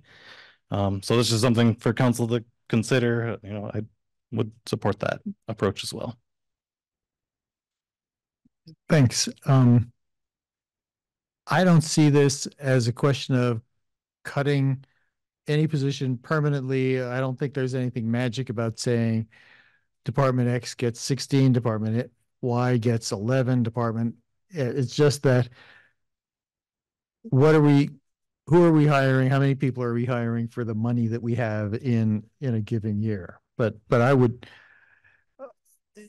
uh, the city manager sent all the members of the council uh, a memo that he thought- was very useful. It said that uh, we can't think of this as saying, well, we get through this one year and we're going to be able to spring back to what we have thought of as normal operations because I don't think the the funding is going to be there in one year to go back to everything we were spending before. Um, but that does, that doesn't mean we aren't holding the idea that we would, that all the department heads think we, they should, even if you can manage the work we're asking you to do with the cuts that are in the proposed budget, I don't, all the department heads think that they would uh, provide better service and more services if you had those additional uh, positions.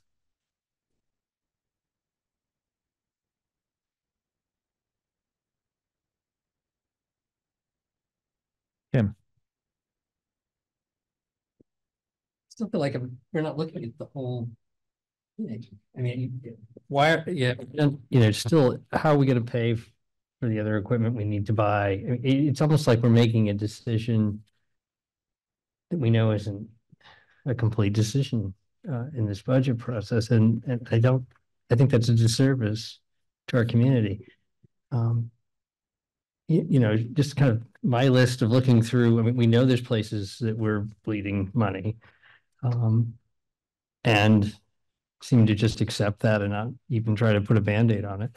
Um, and, and as I mentioned last time, you know, district heat is, we've got to find a way to tighten this baby up. If, if we're losing two hundred thousand dollars a year, I mean, based on the numbers we've got on the table tonight, that one item is more than all the items you're talking about for additions.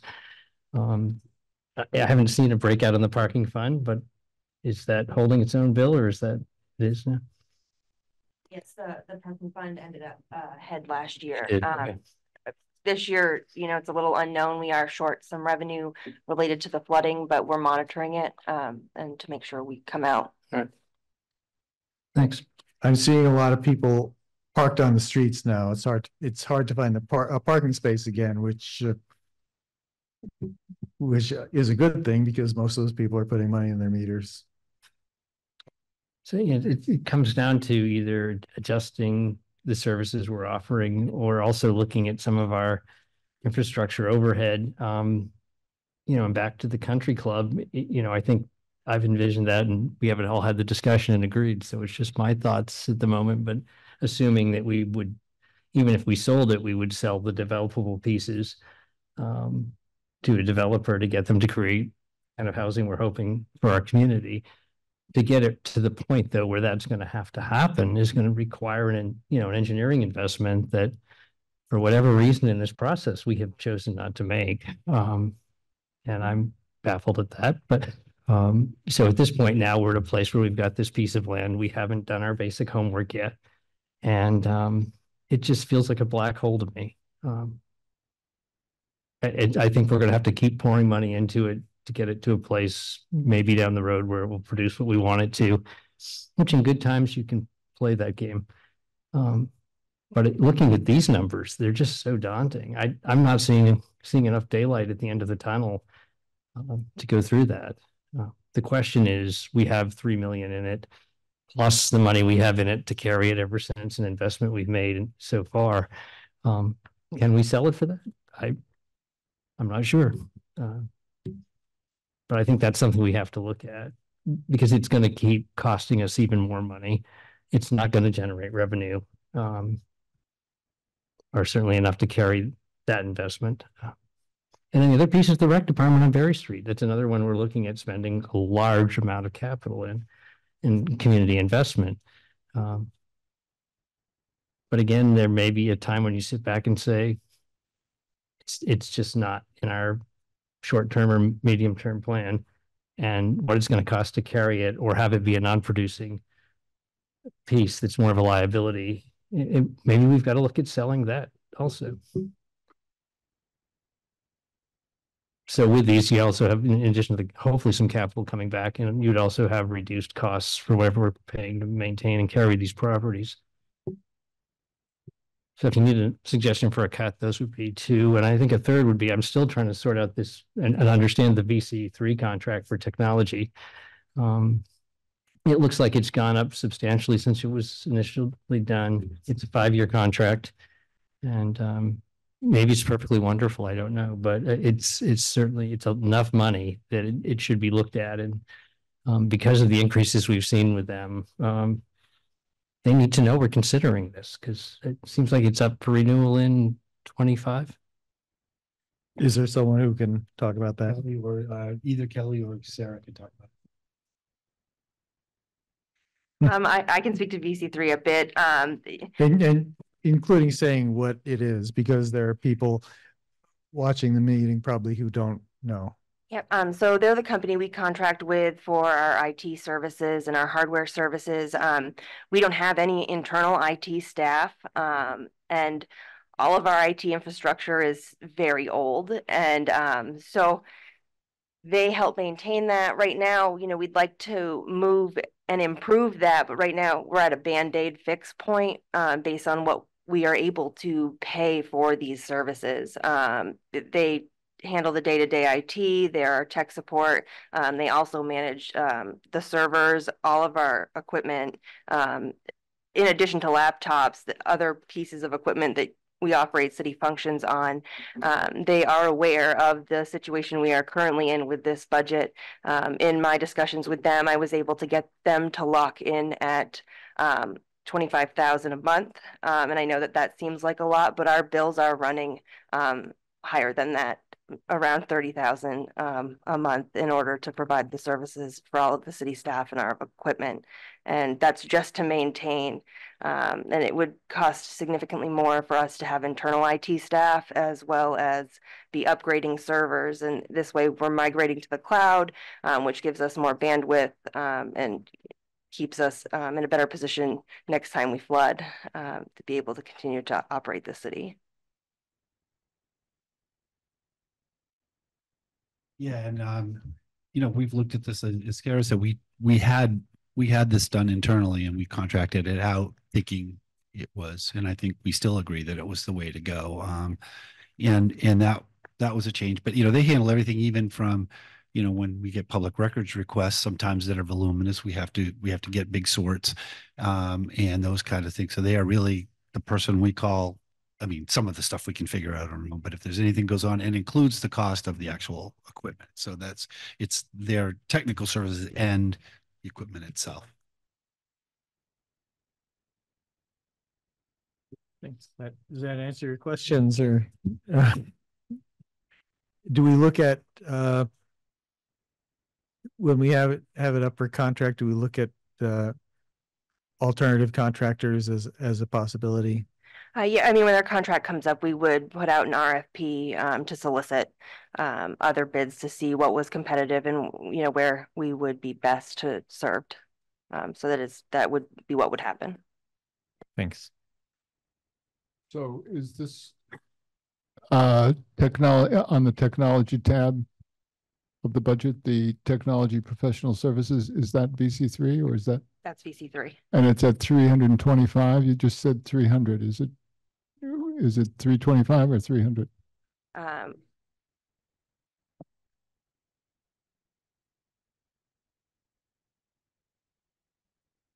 um, uh, what it's in there is correct. So in, in addition to the um, services they provide um, based at the 25 um, per month, there are other costs for licenses like Adobe um, that are run through that Okay, account. So so- it is it is VC3 and then the other recurring licenses um, that are we need to perform our functions. Okay.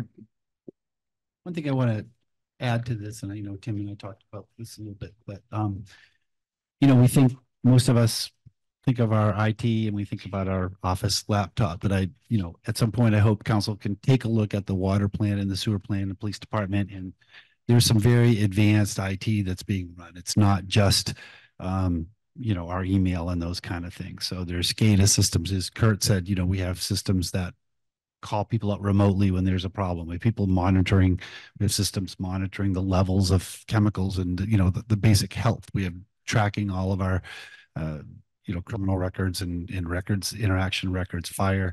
So we have advanced IT needs. They're not just office, general office use that some of us sitting around this table might be more familiar with. Yeah, So how difficult is it to, to switch an IT provider? It's not, it's not particularly pleasant, I imagine. Um, I, I don't know the answer to that. My guess would be that no, it would not be particularly pleasant, but, um, you know, if depending on the level of services and the price point, that would be what we would do because it would be what was in the best interest of taxpayers. Yeah. Uh, so you negotiated them down to three hundred. What, what did they want? So, um, the bills run 30? around You said you were saying thirty? Um, so that would be what they would have come in at. Um, but, you know, I explained to them the budget position we were in, and so I am doing everything I can to um, reduce the services in addition to the twenty-five thousand, but, um, it's difficult to make a dent given our needs. Yeah. Um, Thanks. Uh, Nice work on that. Um, be nice to get him to go down. Yeah, you know, when I explained that we would be cutting positions and, and people, um, it was, our rep was really great about explaining that to management. And, um, in addition to, for this budget, I actually got them to lock in that twenty-five thousand in the current fiscal year from this point forward. So I'm hoping we can save some money there too. So when you say our bills were running thirty, uh, the, the, it's not a flat contract, they, they, it's sort of an itemized bill for, Yeah, for based on different numbers of users and, and different levels of programs. So it's not, it's not like a standard flat fee. There are a significant number of lines that go into, um, the bill. Yeah, so, so uh, is there, are there expenses that, that recur that, um, that can be altered in some way or modified or fixed, or is it just things are breaking down and they're, Um, they're holding it together? Yes, a lot of it is that um, there are things we can reduce um, internally. We're working to clean up server space, um, to consolidate servers, and as the more we can move and consolidate our different line items that can come off of the bill. So that's something I'm working with them um, to do. Was, was any of this affected by the flood? No. No. And they, I mean, they gave a lot of time to us that they did not bill us um, to get us back up and running from the flood. And I, I, they were a really great partner with that. Very good, thanks. So, And uh, you might have answered this uh, in some of the emails and I didn't catch it. Uh, Does, uh, does our telecom run off this also? Or are they, is that part of this? Like the phone service? No. Kelly's saying no, okay. Okay. Um, it is eight thirty-two, so it's time for our uh ten-minute break. We'll be back in at approximately eight forty-two. We've been through a round of questions and discussions from uh council members. I want to open it up for uh questions or comments from the public. Obviously, we're not done with any of this yet. Yes. Just there were some comments and questions and issues raised that I, I kind of were taking notes and wanted to just give a, a couple of answers and, and also some clarification on some things. Um, First of all, I, I know the council knows this, but just for the general public to understand, we did meet as a team at the end of the last meeting, and I think we all agree, you know, our, our leadership team, and um, we, we, you know, that's where we caution the council that this, as many people have noted, we've got future costs coming. We're going to probably have to add our capital and equipment budget next year as well, and uh, you know, so we have these issues we need to deal with. So we're not necessarily uh, in a position where suddenly our revenues are going to come back and everything's going to be great. We have to, this is a longer term solution. Um, that said, it was the pretty much unanimous consensus of the team. And again, obviously you are the council, you can do what you want, but that if there was going to be an add back, we strongly recommend that it be the firefighter position. Um, and the reason for that is we believe that the police has been functioning at 16 for some period of time.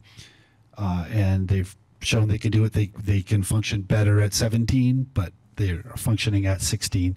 DPW has been functioning down two. This would put one of them back. It's possible we could do some other reallocations. We believe, but we believe we can get the, the basic functions of the job done uh, with DPW. With with fire, they are at 17, and it would be disruptive. And um, to at least the way they they are set up now, I think our thought was that should be filled. We will be having a new chief at some point. Let them see and you know work with the staff and figure where they can come up and and, and deal with that. So just to be clear, that was where the staff was at, and we did also call out the the parks need. Um, couple other things. One. Um, there was a little talk about cross training at DPW. Just want to say that um, it doesn't, you know, some of these conversations have been held many, many times in, over many years in this room, and uh, everybody starts where they start. Uh, but DPW at one point had completely separate crews for you know sewer, water, and roads. roads. And then eventually the sewer and water be, got merged into just one group of both. And then you know, the street department got shrunk. Uh, and if you look over history, it was their department was shrunk by like 10, 15 people over the years. And so now they do work, you know, the, the, the water and sewer people plow with the streets. Um, so there is a lot of cross training. You know, the, the specialized licensed positions are a little different, but they're not the bulk of people. So I, I just want people, you know, we are talking about some good questions here, but I want people to understand that, you know, we have folks that do multiple things. Our, you know, our fire department is fire and ambulance, our, our police, you know, we have many, we, we are doing a lot of things that are consolidations of services. Uh, you know, you heard Arne speaking today as rec and seniors. That's a, that was a change we just made this year um, to try to be more efficient in certain areas.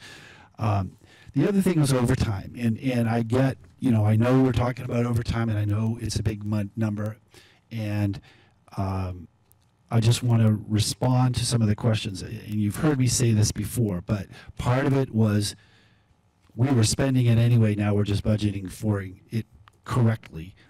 Um, and we have had wage increases because of staff shortages. Uh, so that has increased it. But the other question, and I think this is to Tim's point, and we, we had this conversation the other day, so I don't feel like I'm, I hope I'm not blindsiding you, but when the, when this, because I want to make sure we are being helpful to you, and when the, when we were, when you were asking questions about reducing overtime and what can and can't be done, I think the answers you were getting were that it can't be done in if you expect the same level of service that you're getting. Um, you know, if we were to make changes, and and some of these I think we you would hear back from us. You know, I mean, there are safety factors for having at least two police officers out at night. It's not a good practice to have one at night. You know, that's not a good idea. Uh, you know, our fire responses, ambulance responses are based on having adequate people to respond and also to handle a second call if it should come in. You know, if we could make a decision says we're only going to handle one call at a time and everything else is is mutual aid well, then we'd have, you know, that's delayed service, that's a change, that's, you know, uh, but so when you're hearing people say this is how it works with overtime, it's how it works for us to deliver the services that we deliver the way, you know, in a way that we're doing it that people get what they're acquainted to. So if, and, and it is part of the structure. People, when you have 24 hour departments, people need to be there. If somebody's gone, someone else has to come in And that's just, that is the, the way it is. It's not, you know, in the office, somebody's out that day, we're just out that day. You know, nobody comes in to fill our spot. Even DPW, someone's out sick for the day, they get by without them. Fire, police, they, they have to, to cover that shift or at least the overnight portions of it. And, you know, DPW, when the snow comes, we don't say, hey, wait till seven o'clock, we'll start plowing. That's one way we could cut overtime. but I don't think people would go for that. So I, I'm, I'm, we're trying to be helpful. We understand that is a big number. We're looking at it as well. It, you know, we did knock it down in our budget process as well. And uh, we are working with our teams to try to figure out how to make that work.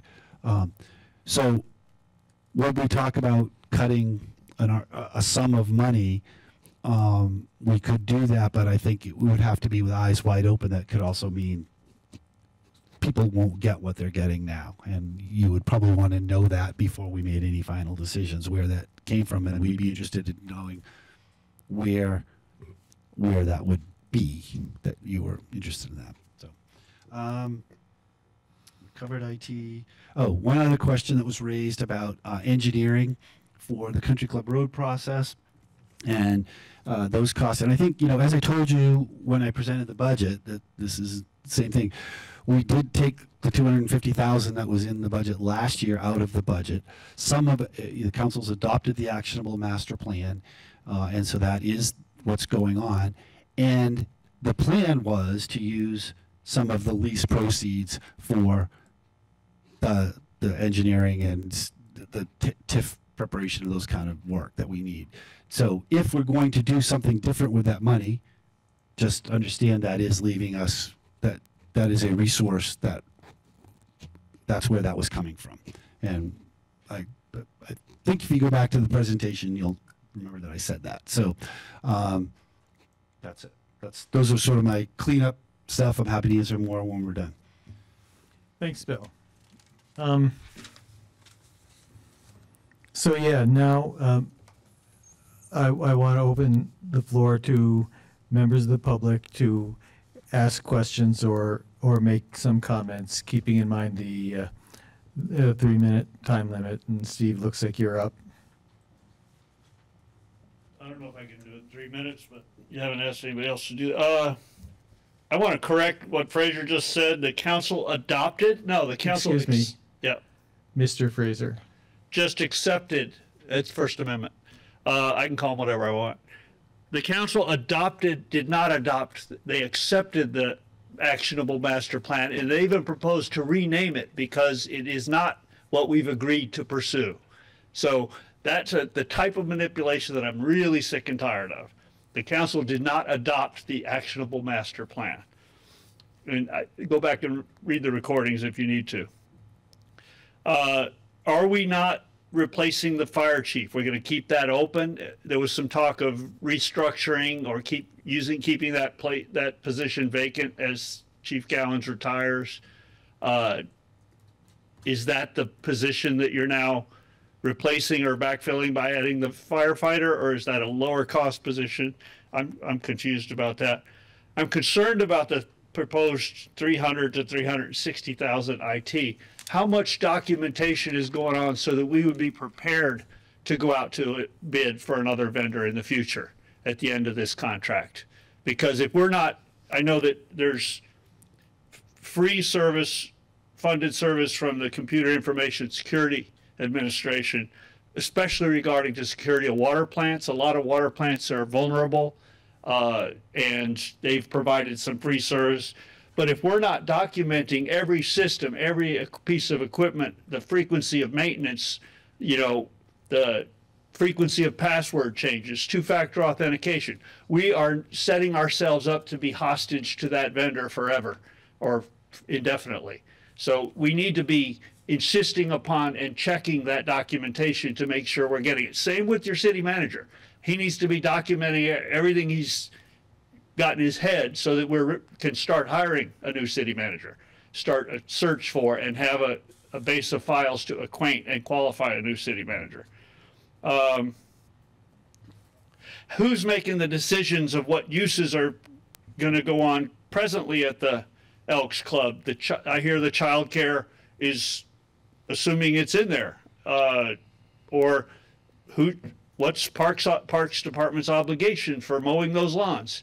I mean, it seems like the decisions are being made without the council weighing their effects or uh, consciously agreeing to.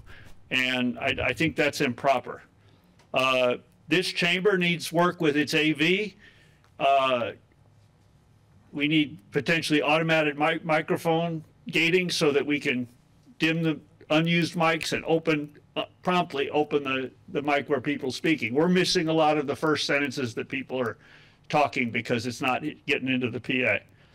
Uh, how much is left from the 50,000 we uh, budgeted for a website upgrades? The website is still a piece of crap and it's impossible to use. And for the city manager to say it's on the web, it's on the internet, is just absurd. That website needs to be um, three minutes are up. top top to bottom. Thank you, Mr. Whitaker. Your three minutes are up. Come on up.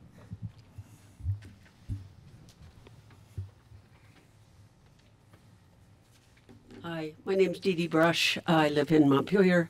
I have a couple questions about two staff positions, which I'm not very clear about what their um, scope is and how important they are, particularly given this budget year. One being the communications director, which I would think might be able to be covered by the uh, city manager's office, which has, I believe, three employees. I, I, I hope I have that right. Uh, and the other one is a sustainability director, which I understand that in this time of climate change is very important. But I also understand that it may not be the time for us to be investing whatever that salary is. And I, I don't have the numbers, so I'm speaking a little bit off the top of my head, which I hope you'll excuse. But um, I think that to, to um, Council, Councilman Heney's point, I just don't understand whether there's been a very thorough look at the city administration and its costs. And I think it's very, it's very uh, big.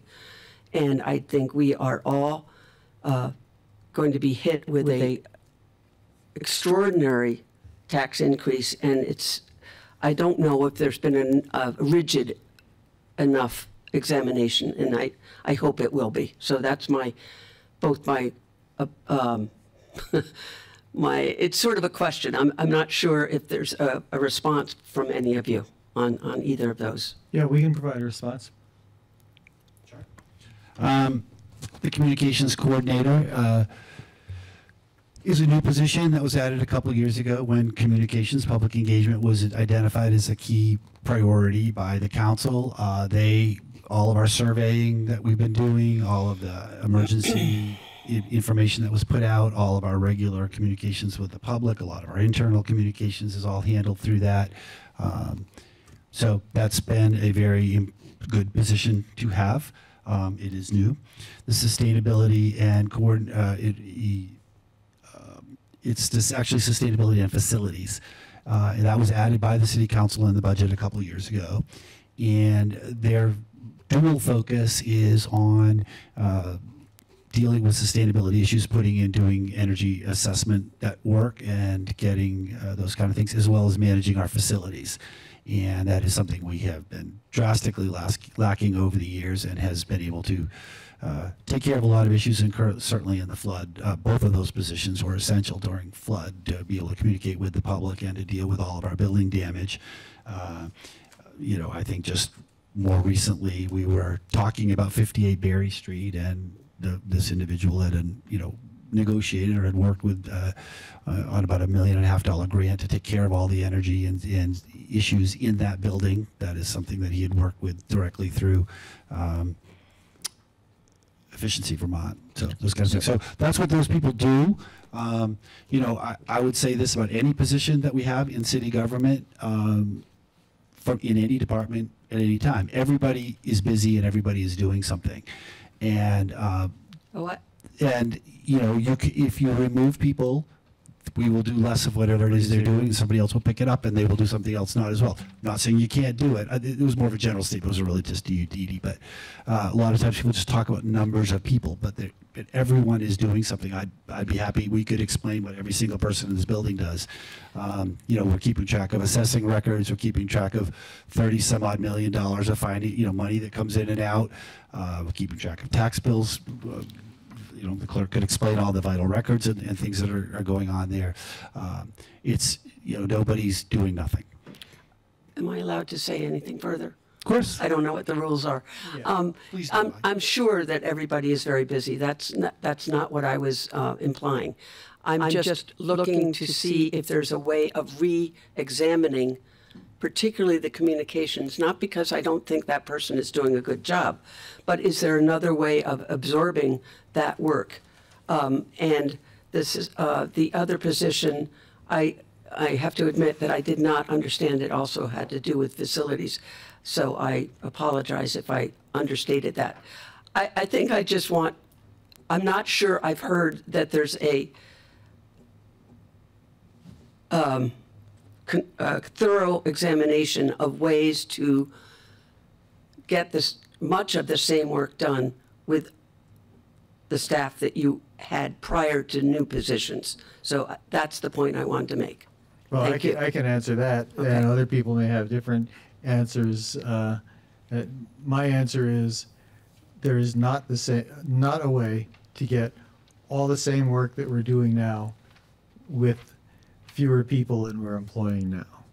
You know, it's, uh, it costs a lot of money to run the city government, and I think people expect a lot from their city government.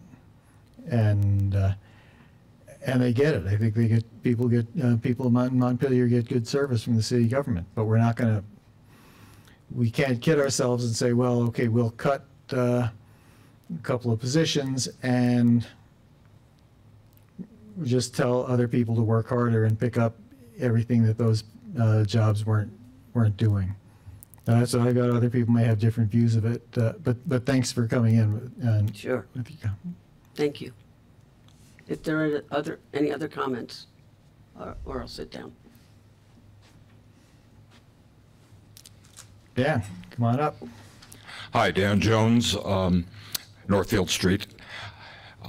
I was particularly uh, disappointed when a small line item was not included in the budget from the Energy Committee. We'd asked for $10,000 to um, do a quick consulting study on what could be done toward moving a, or creating a district heat utility. Um, management of the district heat system was kind of dropped early on, and uh, it has become a uh, money suck for the city on a yearly basis, and it doesn't have to be. I believe there are ways of organizing it, and uh, you know, so we had uh, proposed this idea of at least exploring the idea of a district heat utility, which we are legally allowed to do, and uh, see if there are ways of building the system out in a way that actually could serve the city as opposed to uh, being a net loss because of the way it's uh, constructed and managed.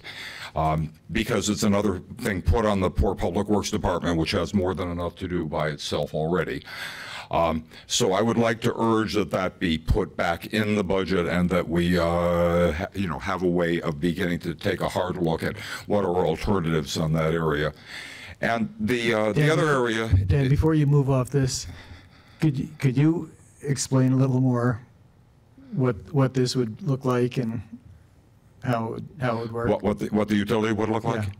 Sure. It's, uh, the, the idea is that, uh, is a way of organizing the, there's a whole technical process where the heat is taken off at the district heat plant, put into the ground, uh, as a hot water system to be delivered here at City Hall, the fire department. And theoretically, it was, uh, designed to be able to serve a large number of the, uh, buildings in downtown so that you would buy the heat from the hot water from that system as opposed to, uh, buy, you know, having your own, uh, boiler in the basement. Uh, it was a way of beginning to, uh, try and use the wood heat as, uh, which is dumb wood heat. We're not trying to generate electricity. It's just taking heat and putting it in. Um, so the idea was that it could be something that would, uh, a system that could serve a large number, much larger number of people in town, a number of uh, businesses downtown.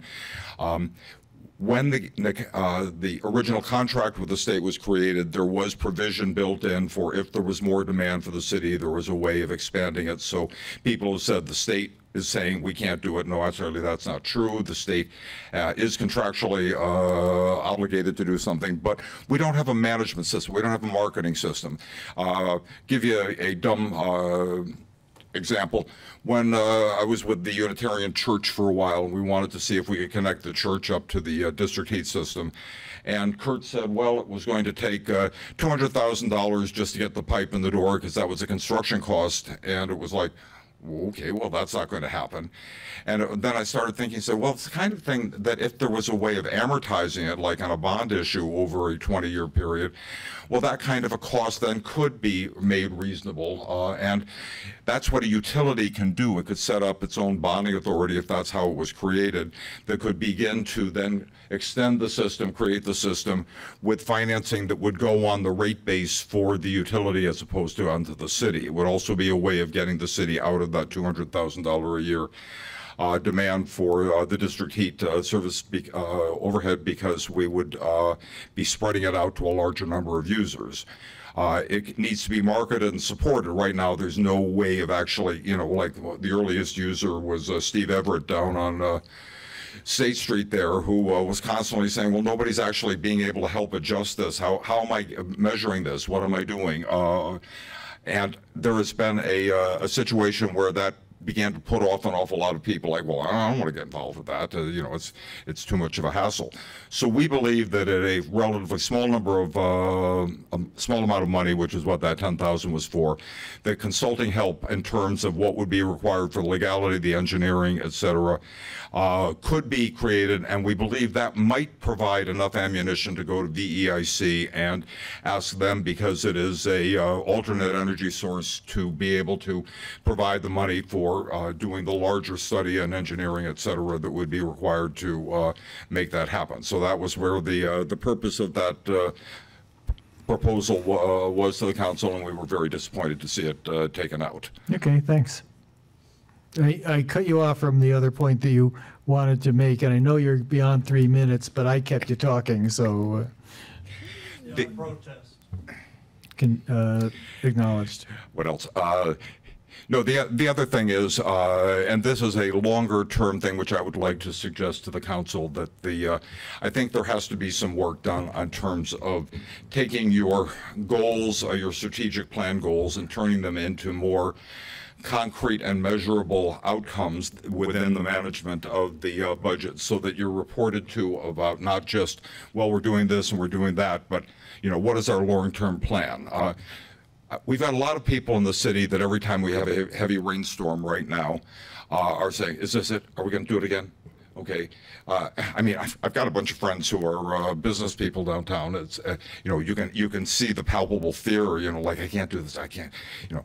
So what we've got is a situation where uh, people don't feel like uh, they're being protected by the city.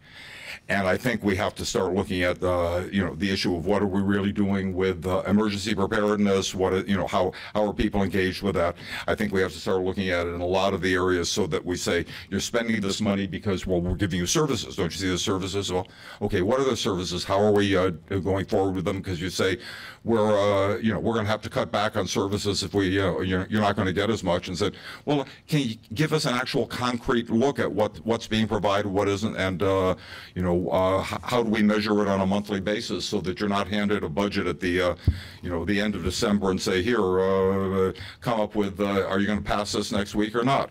I mean, Okay. that's, that- that's a very thin way of uh, Gotcha. doing your planning. Okay, my three minutes That's your up. time. Thanks, Dan.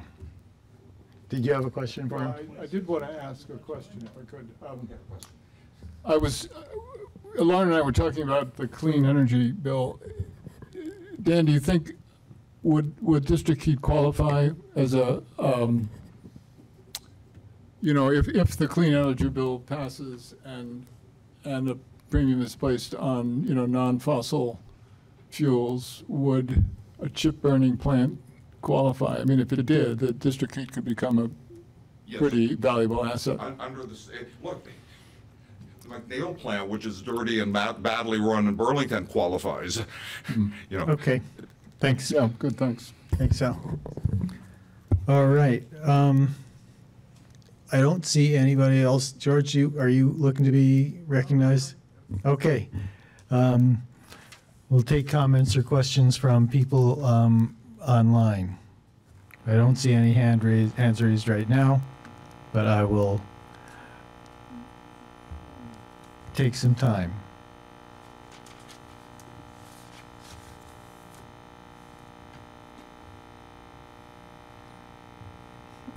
All right. Where do we stand now, folks? Um,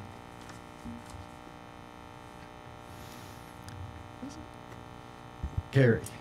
Um, so I really appreciate all of this discussion and the public input, and um, it's, it's a lot to weigh. And I um, really appreciate the work of the city staff at going through all of this budget to begin with.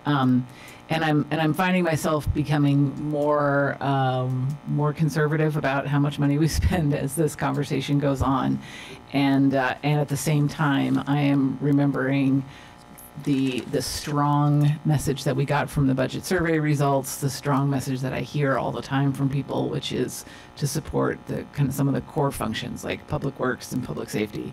Um, so, it, and as I'm playing with this great spreadsheet, um, I'm wondering about just increasing the uh, the firefight the fire department budget back to get that one position back, and leave everything else the way that it is, and that would be, um, I think that would be a uh, 4.56 percent increase. Um, so I, I would, uh, I guess, I guess that's a, that's, that's the, the one that I'm gonna throw out right now. Most conservative one that I can come up with. Four point six, did you say? Four point five. Four point five six. Mm-hmm. Moving closer to your direction, Tim, not all the way, uh, Lauren. Can I just ask a question? Did we ever get clarity, like, what happens to transportation for people if we don't fund My Ride? I mean, the data that we got that, you know, the, all the people that are using this service to get around, like, what happens to people? Like, I just feel like this is a vital service the same way public works and public safety, like, being able to get people places. So is there a way to go after state money for this? I heard today that Senator Perchlik is now acting chair of the Transportation Committee. Can we, you know, like, is, are there options or is this just me, we're taking transportation away from our community members, which I just want to be really clear about that if that's the decision that we make. So We asked, I asked um, GMT that directly, and they couldn't give me, they didn't, couldn't make a commitment one way or the other. I think they would like to continue the service. They are seeking the state. uh, You know, it is a V-Trans program. We, it was a pilot. We contributed to the pilot. Um, In theory, it should be taken over by V-Trans. You know, we could, we could check with Senator Perchlik and see uh, how that goes. And I think that was part of our thinking was, you know, I mean, I'm sure they'll take our money for as long as we're willing to do it. But, you know, I mean, there, there were many good ideas. You know, Dan Jones just presented a really good idea that was in the budget and that is gone because we were trying to, you know, reduce. So, get it. It's a, it's a service that people need. And I, you know, I guess if I were them, I wouldn't say, oh yeah, we'll totally do it if you cut it.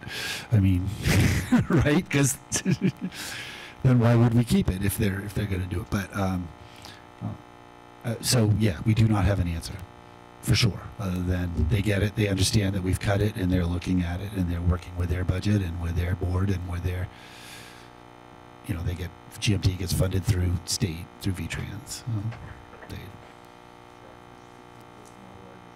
Yes. As you may know, I was heavily involved with creating my ride, so uh, the state puts in something in the neighborhood of 700,000 to the system. Uh, the 40,000 was originally what was being used for the so-called circulator prior to uh, my ride. The my ride was an attempt to try and make something a little more uh, responsive to a larger number of neighborhoods rather than the uh, the fixed route circulator. So that was where it came. The state, as um, you know, only works through contractors like GMT in order to provide the service. So it's uh, it's a funding vehicle and it's a policy thing. It was a policy trial. Actually, there were five towns who wanted to do uh, on-demand microtransit uh, out, based on the Montpelier experience. So we actually uh, set the groundwork there. But uh, it will become harder f because of the state budget to uh, maintain the service without the continuation support of the city. Thanks. Uh, Donna?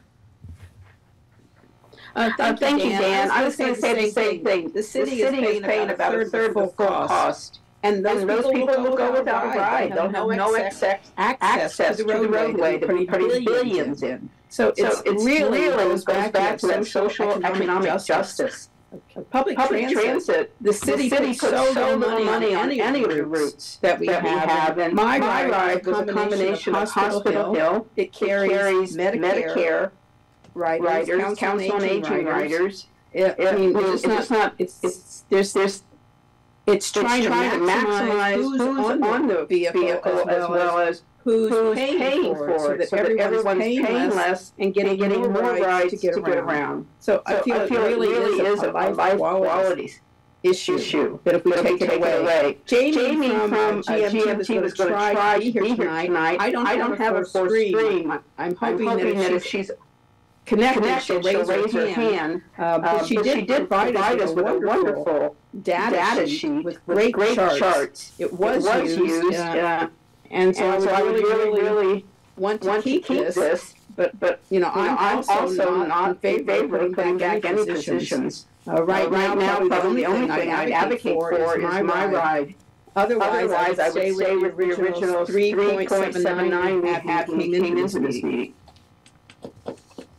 Can Sarah show us what my ride would add by itself? The forty thousand?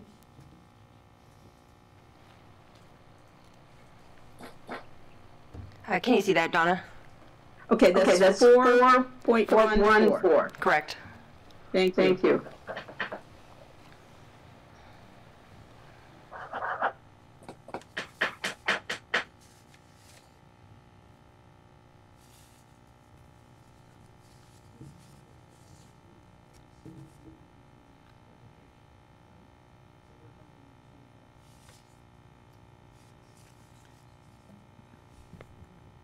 So? Quick question for Sarah. Just curious, to just, if we- if we initially started with a goal of three point two, and, and kind of looking at the variables we still have out here, that could take four point one four a lot, lot higher. If we wanted to get back to a base of, say, just drop, say, two point two or two, how much would we have to reduce?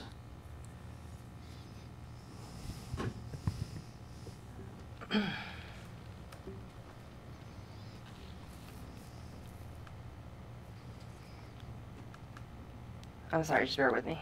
That's it.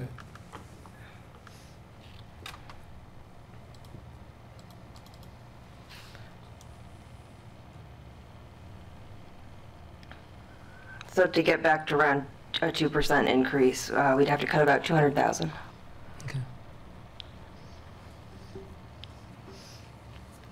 And we've been pretty clear that we don't want to cut that from primary services that we defined at the beginning of the process, so police, fire, public works.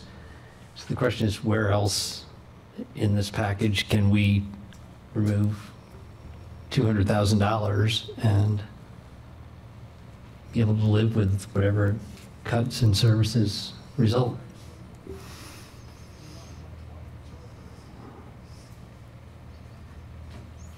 Yep, there's.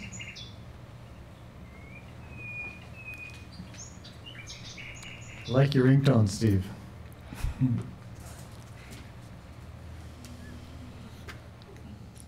Is there support on the council to, uh, to be looking in that direction? Because if there isn't, I don't want to spend a lot of time on it. Uh, I'm sorry, sorry, Jack, Jack, my computer blinked out. What, what, did, did did you Did you not want to spend more time on? Well, uh, what I said was, uh, I'm uh, interested in knowing if there is support on the council for uh, making cuts in, in the uh, range of $200,000 to get down to about a 2% tax increase, because if, if there's not support on that, I'm not interested in spending a lot of time uh, talking about that. Pelin, I know that your hand is up, so why don't you start in? Yeah, uh, Yeah, uh, thank you. So why not we we have an alternative look? look, So I think I think Councilor Heney made a good point. We can just see the option, right? Right? Can we, or we don't have any time to do that? to do that?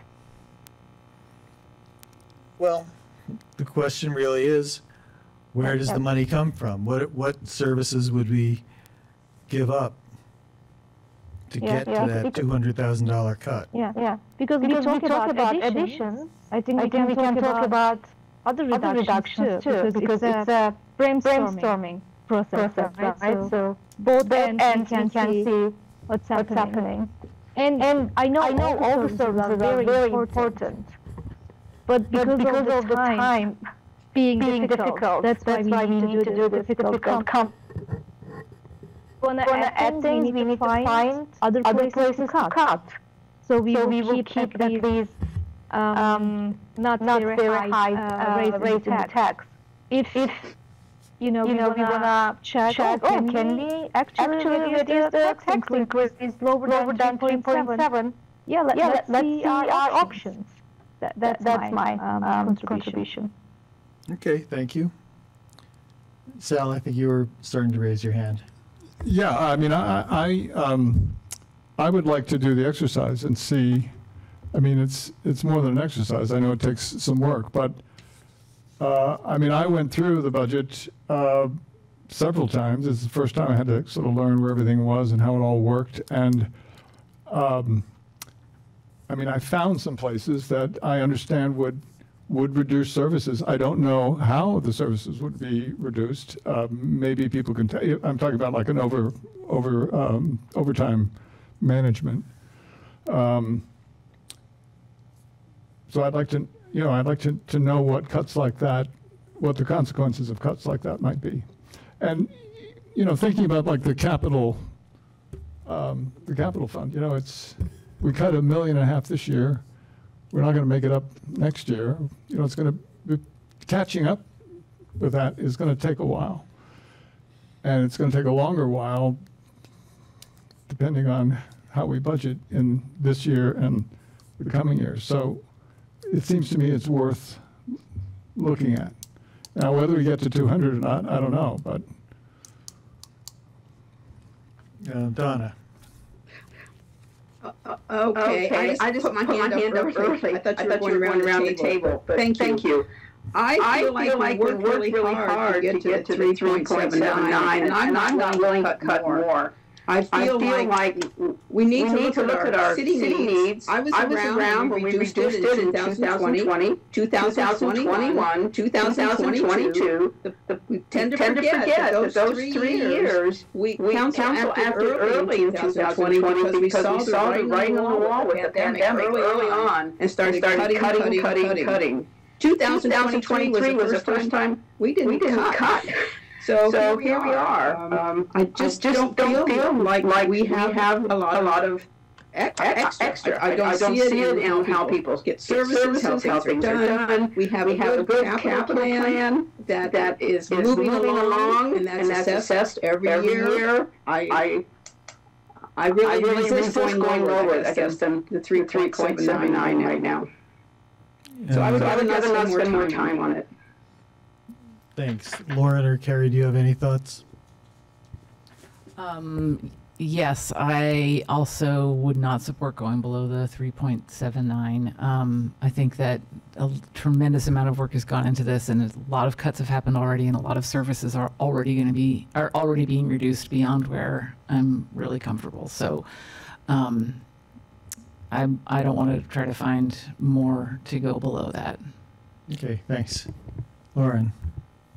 Yeah, I'm more uh, in line with Cary and Donna. I mean, certainly, I think if somebody comes with a specific proposal to look at, like, great, let's discuss it. Um, I, I think, I mean, I'm comfortable where we are. I agree, all the work and, you know, the conversations that I know the city staff had who are closest to the work and the needs and did the really hard work of where can we cut department by department by department.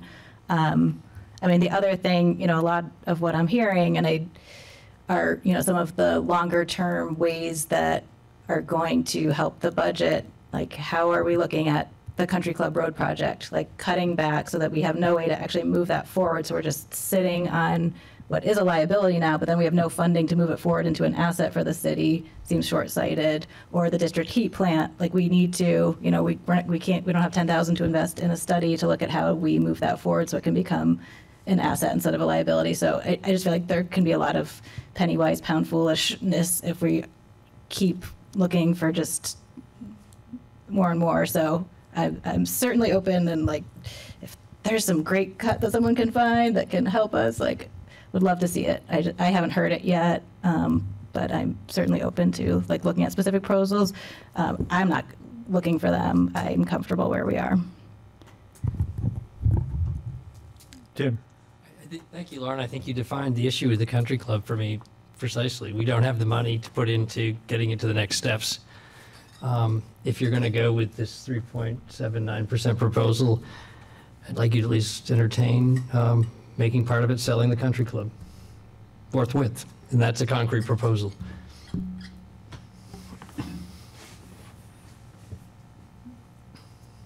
There we are. That's, that is a concrete proposal. I, I think it, my view is that it's terribly short-sighted, but uh, It's all a matter of opinion, Jack.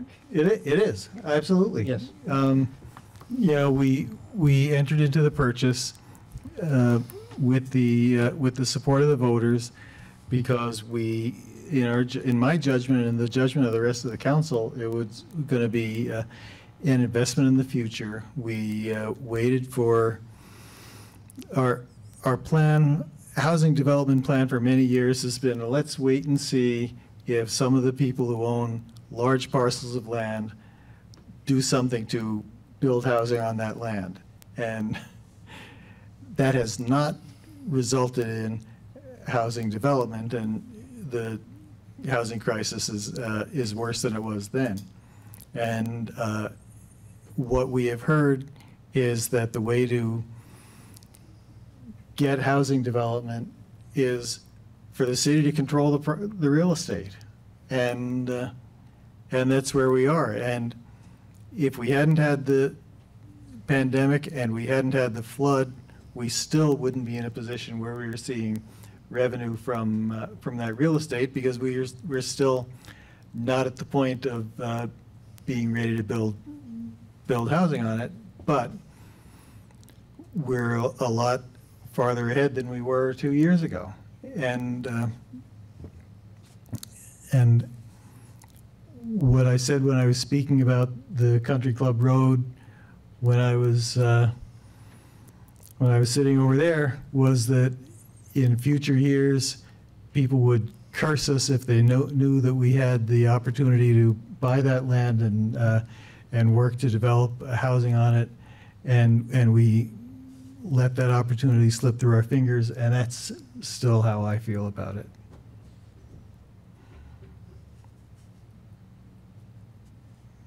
I don't know if anyone else has any thoughts about that.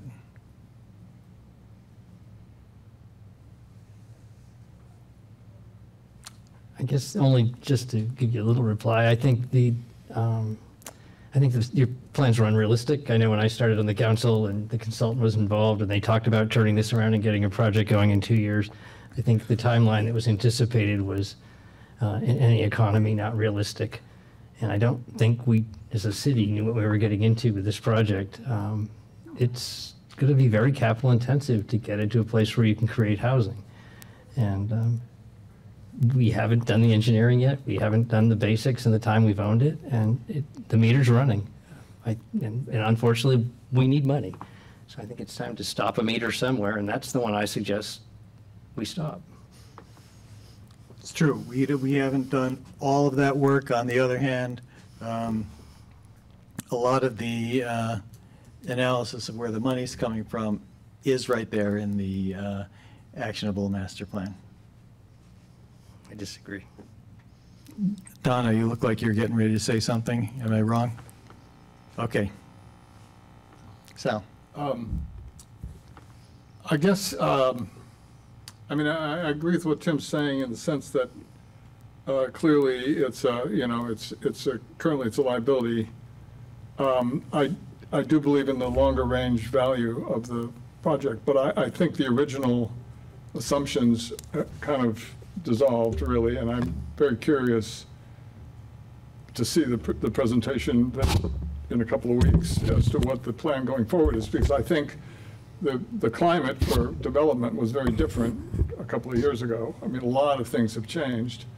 Um, And so I think our, our approach is different from uh, what, what White and Burke was, was presenting, or at least there, there are other options that I'm thinking we, we might be looking at. Um, So I, I'd be reluctant to make a decision like that. I think Tim probably knows that without sort of seeing what, what the plan for the next steps might look like. Um,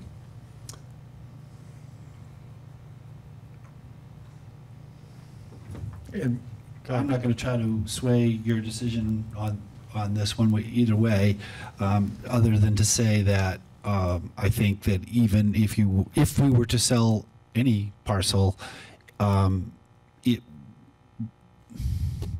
it would still not be an operating revenue.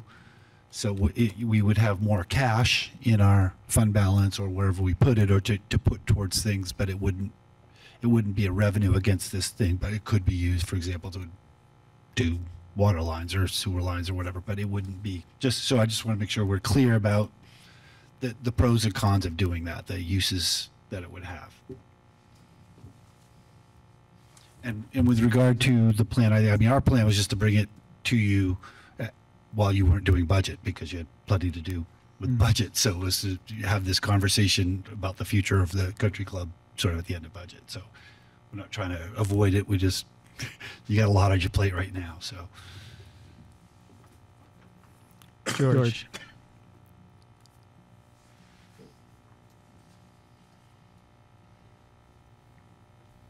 George Wilson, 25 Hubbard Street.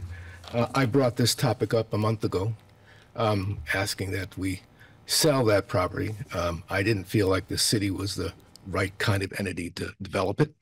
I don't think cities do a very good job with those kinds of things anyway. And uh, I understand that there's maybe some possibility of keeping something and selling parcels.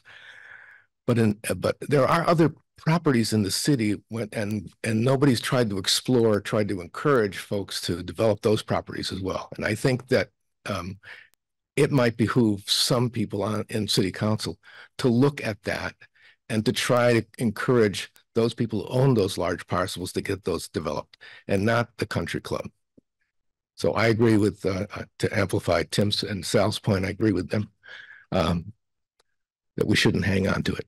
There are other possibilities. Can I ask George? a Thanks. question? Yeah, Which- sure. Which parcels are you referring to? Say, oh, what's that? You said they were large. Well, I think, you know, there's, there's Sabins, obviously. There's, uh, there's also, a, um, someone who owns property off, um, um, Terrace as well. Mhm. Um, and I don't know, I know of those two only. And I haven't explored that Right. in any great detail, but I just mentioned it. And then, and if you know, I'd be happy to share my a- calendar of the amount of hours I've spent with the owners of those two parcels trying. well, maybe somebody else, eh, maybe somebody else could also join you. uh, you Well, know, we've had other With some influence. I, don't- I just, I, I, I I hear you that. and, but the comment was maybe, you know, the city hasn't done anything to try to encourage those people. And No, no, I didn't say that. I didn't say you didn't. Well, I Oh. didn't, I didn't mean to imply that. Okay, if I said that, I'm, I'm sorry. I didn't mean to imply that. Yeah, in fact, we're meeting with the Okay. Sabins owners on Friday to try to see Yeah. what we. we Uh, yeah, it's, well, I think, um, there's some maybe get private owners to that place. So May or I- may not do what they want to do.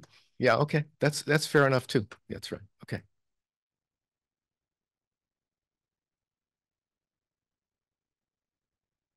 All right, I am I'm not hearing enough support on the council to say, yeah, we're gonna go with Tim's proposal to sell uh, Sabin's pasture at this time. I mean, so it's Country Club Road at this time. Um, but clearly that's getting down to your two point, uh, two percent or so target, Tim, is two hundred thousand dollars and there's certainly proposals that you could make.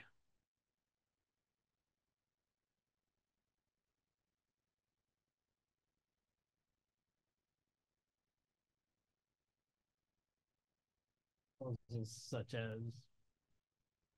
Well, I'm not someone who favors Yeah, you don't wanna cut making these cuts. that's sort of- Um, Yeah. well, I, I never got on the council to cut things and to say no to things, but we're here supporting a, a budget that, uh, and I, I'm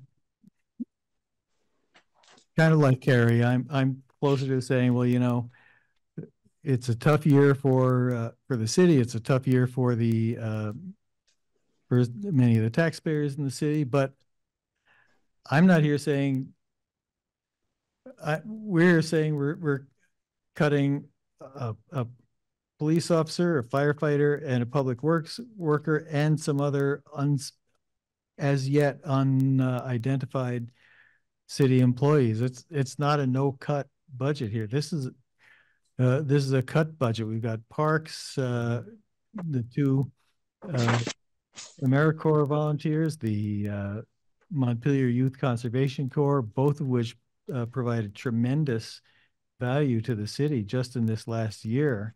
And it's, uh, I'm sure they, uh, people, I, I wouldn't blame people in parks for saying, well, this is the thanks we get for, uh, for being out there and, uh, on Main Street every, every day this summer. But, uh, we do what we have to do. And so I'm, I'm not just saying don't cut, but I think that what I am saying is that we need to spend the money that it takes to run city government. Understand. Uh, Donna, Thank you, Jack. I, I have one question of process and then I have an opinion. Uh, do, do we not need to settle on a budget to go forward with our first hearing next week? I believe the answer is yes, we do. Okay. And then I guess I'm not responsible for the school budget. And I feel I cannot cut the city budget to accommodate its increases. I think what this year proves is that the property tax is not where we should fund schools. It should be on the income tax. And we need to really move forward on that in our legislative agenda. So I feel like we have our city budget responsibility. The 3.79 I can live with. I would like to add my ride, but the the school has its budget. We have ballot items like the library uh, and others that will probably get on the ballot. We can only control our budget. And then it happens, the voters decide with all these items. I feel it's not fair to try to make the city overcompensate its cuts because we have these other things on our ballot. Um, so if you want to entertain a motion, I'd make a motion. Your motion is to adopt the uh, budget as proposed by the uh, city, by, as presented by the city manager and, and adding my ride. and adding up my right. Uh-huh. Is there a second? I'll second to get us moving. All right. Um, I suspect we're not in the position where I can just call for a vote and and get this voted up and down. I might, but I'd like to have some discussion before we do that. Um, how how do you all feel if if that's where we uh, end up going into the uh, public hearings? Can I just do a We can still make changes next week, right? Yeah, I just wanted to make sure everyone understands that, especially the three new council members and the public. So th- the way this process works is the city council will adopt a public hearing at next week's, uh, excuse me, a, a preliminary budget. And at next week's public hearing, that budget will be presented to the public. We'll do, you will then have a chance to discuss, change, do whatever you want. That will happen. Then you will adopt at the second, you know, or whatever, you'll decide what you want to show at the public hearing, the second public hearing on the twenty-fourth. And then we will do it all again. And then at the end of that meeting, the vote that you take is the final, the one that goes on the budget. So you have two more meetings to change this. So I, I just want to make sure people understand. Basically, you're saying this is what we are going to roll out to the public to real, I mean, we've had the public here, but hold public hearings and engage the public with as your first tab at a budget. Thanks, Bill. Uh, Pelin. And then Sal. Yeah, thank you. Uh, I understand Donna's concerns. So if we find another place to substitute this my right addition, then I'm okay with it. But if we don't find any place uh, to reduce, I think we need to discuss again because adding one thing, everybody wants to add other things. So then we should be able to add two, then it will be really higher. So I'm okay with adding the my right, but we have to find another place uh, to take 4,000, uh, 40,000 off from the budget. Uh, Jack, Yeah, go ahead. uh, maybe Pelin doesn't know, you can make an amendment to my motion to approve it at three point seven nine that doesn't have my right in it. Yep. Yeah, we are, I thought we are discussing, that's why I just Yeah. mentioned my personal opinion because Jack said it's a discussion. We are not voting yet. Well, no, but there's a motion on the floor and you can change it if you like. I mean, you can do an amendment to, to do what you just said. Yeah, I just want to contribute the discussion. Thank you for your offer, uh, Dana. So for this point, I just want to contribute the discussion as uh, Mr. Mayor just suggested. Thanks. Uh, Thanks, Pelin. Sal. I'm just curious how the uh, public hearing works. How is the budget presented to the public? I mean, it's been out there forever, but I doubt many people have looked at it. Well, typically we do um, a similar presentation to what we did at the beginning of the budget. You know, we use, we have the charts and the summary, you know, you know, a little presentation. I usually do it, although any of you are welcome. I'm always happy to have an elected official do it. And, and so part of it is that sometimes it, often it has changed from the time I present it to the time we get here. So then it's the updated version. Uh, if we have other information, like an, a, final school budget, we put that in. So people, you know, we try to get as much new information that we have. Um, you know, for example, even since we started, we, we have the, the grand list adjustment. So it has changed a little from the 3.2 to the 3.79. So we would make sure that that was called out. And so, yeah, and then it's just basically a presentation and then it becomes the, the council, the public offers comments and asks questions and then the council deliberates.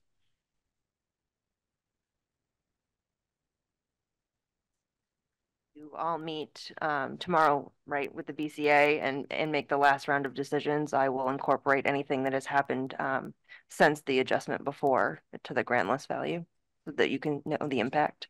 Right. I was gonna say, there's only two cases on for tomorrow night, and one of them is a proposal to uphold the assessor. The other is a small reduction, but, but there are other, the last couple of weeks are probably not built into that. Correct. Okay.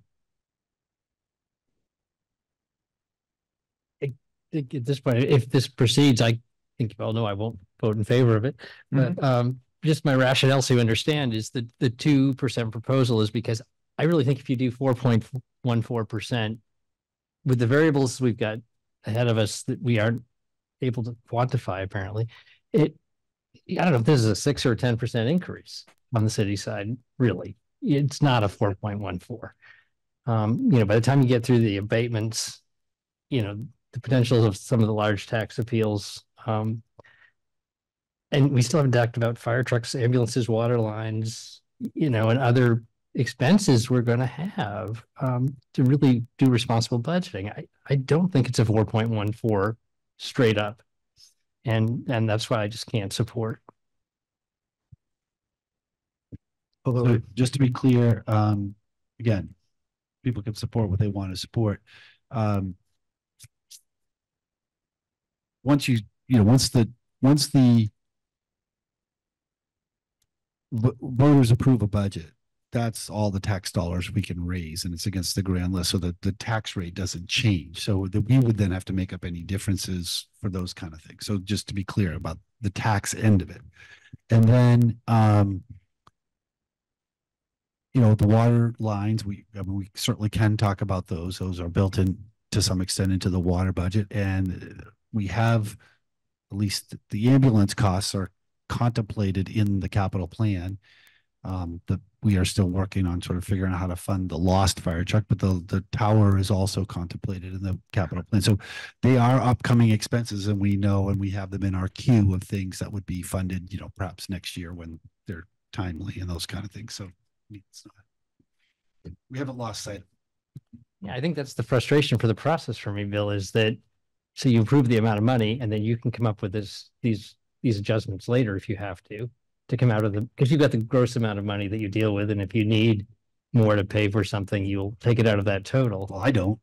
I mean, we bring it to you and we decide. But it, you've implied that that's what'll happen. Well, I think what So why can't we have those concepts now? No, I think, well, I mean, because those would be, well, typically, if there were a, an abatement request, it would come out of our reserves. Um, it wouldn't come out of our operating budget because it would be considered a one-time expense. Uh, it wouldn't be a budget adjustment, that kind of thing. That's why you have fund balances for those kinds of things. Um, so that, I mean, that's what it is. But again, it would be because the BCA or the Board of Abatement had granted abatement. It wasn't because anything we proposed to do, but that's where those would have to come from. Um, or, yeah, there is no other place for it. You, you're right. That's exactly right. And I should point out that we do know that the, the proposal for water and sewer is the rate increase of rate of inflation plus plus one percent. It's, we're not planning on doing all the pipes this year. Um, yeah, and we can talk about that more when we get to that. Um, because we, you know, we, we also have a, I don't want to open up a can of worms here, so please promise me we won't talk about this for a long time, but we, we do have a conversation about leachate still to have and PFAS and the, the treatment and those kinds of things. And, um, that has an enormous impact on our sewer budget and what we can and can't do. So we could, in theory, you know, so tho- those rate increases could actually be lower depending on what we chose to do, but then we'd have to make those decisions. So just that's out there, but they won't be any higher than current council policy. And I, and I know some people don't like the council policy and that's a conversation you all can have, but Just a quick question. Are we accepting PFAS leachate now? Okay, uh, hold on. we are. Come on up, Kurt.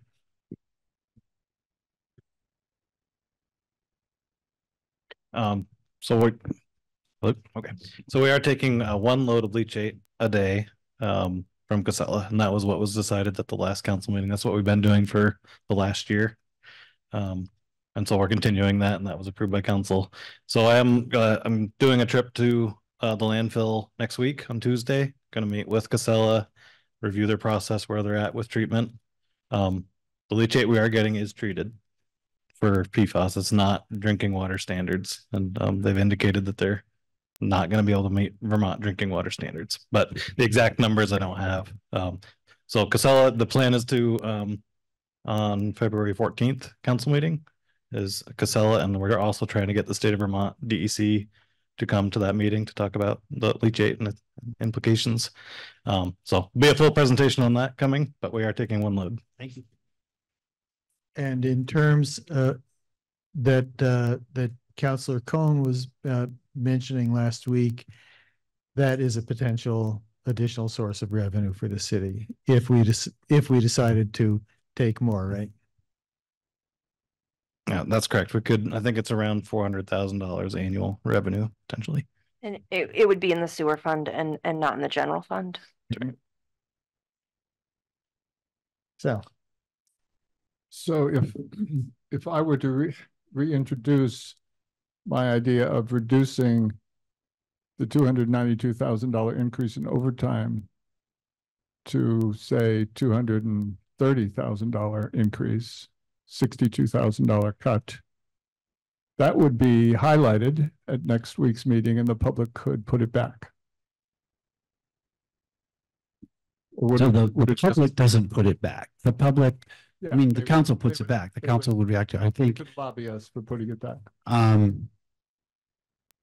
So yes, theoretically, that is correct. But it would Yes. be highlighted. It would be highlighted, of course, it would be highlighted, and I think, I guess I would ask if, uh, you know, where, it- what would the priorities for where that comes from? Because that, you know, we could take it all from one department, or we could, you know, I, I mean, I think there's, w- there will be impact, we would, ha- we'll have to talk about it and figure that out.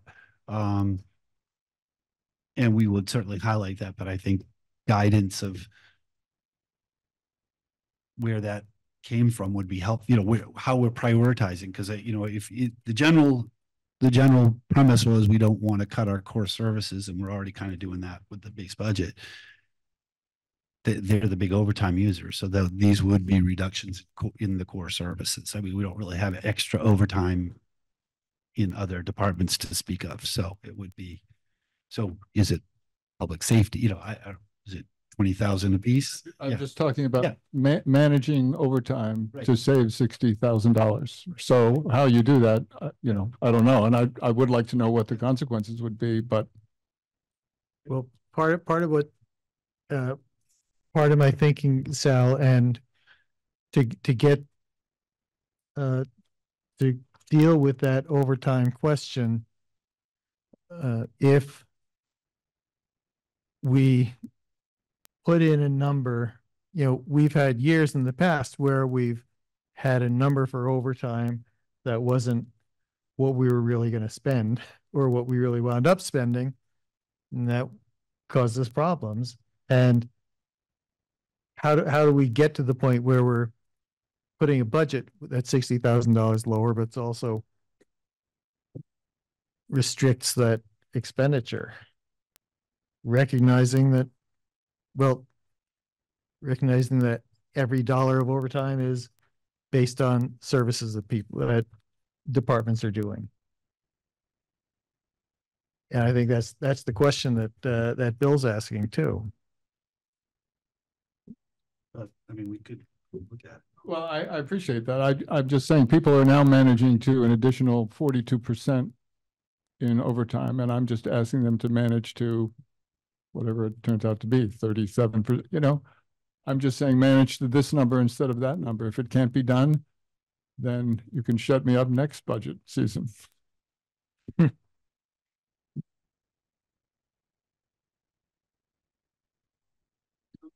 Yes. Um, there was a quote earlier, people want what they're getting now. And I think that you may, that may, that attitude or that premise may be exaggerated right now. I think people want the taxes not to go up anymore right now when times are tight.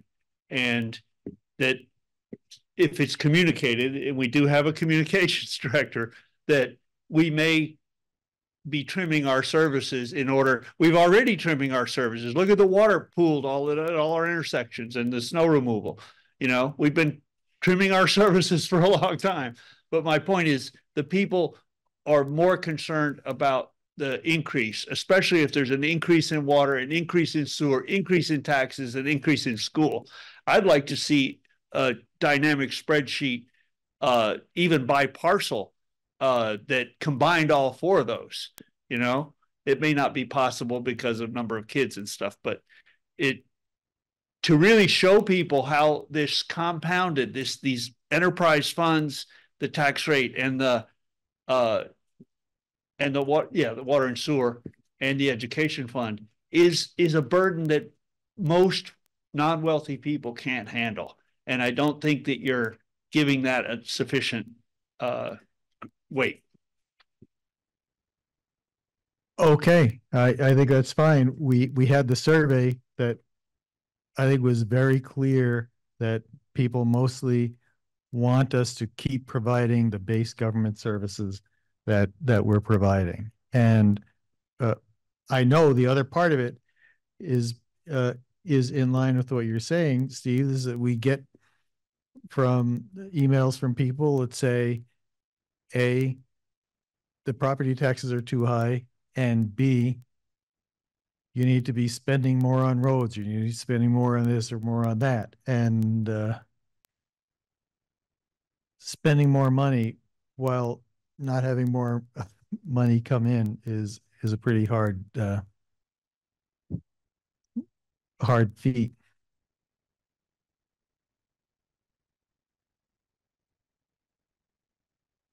Now, I'm not sure if we're any closer, but we have a motion that's been seconded on the table, and the motion is the base budget plus forty thousand.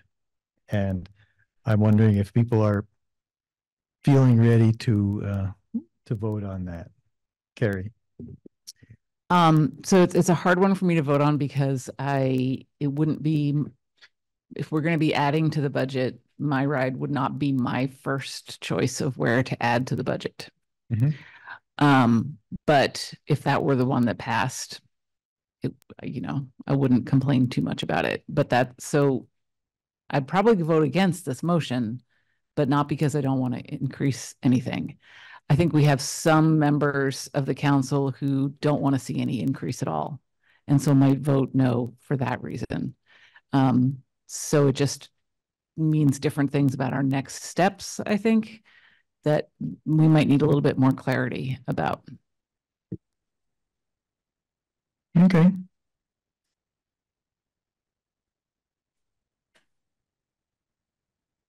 Um, if I may. Yes. Process wise, and I don't want to presume where everybody's at, but you might, and I know you have a motion on the table, but you might want to um, have a, a motion on the base budget, just the, the one presented, and then then now and the next few people can vote on amendments, either up or down, you know, adding or subtracting. You can, you know, how many people want to vote to add my ride? How many people want to vote to add a firefighter? How many people want to vote to cut two hundred thousand dollars? How many people want to vote to cut to sixty? You know, then you can do that and see, you know, but at least you know where you're at. Uh, because if you, I think procedurally, if you keep, we're going to have these packages, you know, there's going to be something that somebody doesn't like, and um, so i'll just offer that. So how would that work, Bill? Um, Well, you've already got a motion on the table, so I guess, uh, you know. Um, you've already got a motion on the table, so you could vote on that motion, but if, if it, if it passes, it passes. If it fails, then maybe you could start with a motion to just do the or whatever you want for your base budget. And then if people want to make additional proposals up or down, you know, adding or subtracting, you can do that. And then people can vote on those particular proposals. Do we want to add this to the, and then you'll see where there's a majority of support for putting in my ride or a firefighter or taking out overtime or taking out two hundred thousand, you know, you can see where people are at. Um, so you're thinking, I, all I'm saying is I think I've seen councils get wrapped up where there's like, you know, I want two from column A and three from column B. and Someone else wants three from column A and two from column B. So everyone's voting no. And you, it's just, it's easier if you say, all right, here's, we're either yay or nay or split vote or whatever, but this is, this is that. And now we're going to do what we're going to do. so the motion would be something like we move the base budget uh sub subject to further amendment. Then you could have the base budget be the motion. You could have the base budget be the motion and then people could propose amendments and they either pass or fail to get Yep. added to the base budget. All right, uh, Donna, I'm willing to make a motion to amend my motion, since nobody else will do it, to uh, propose the base three point seven nine presented. It goes along with Bill's idea and where people seem to be. okay, is there a second? second. Any, for any further discussion of that? All, of- and so this vote is to um, amend Donna's motion to remove my ride from, uh, from the motion? Well, no, well, okay. No? Okay. Well, I the, the- uh, the motion was to just stay with the base. Uh, You can word it that way, that's fine, but the motion was really the, for the base tax rate at three point seven nine that we started with this evening. Okay, and, and then from there, if you want to make a motion to add my right onto it, we move that. So be it.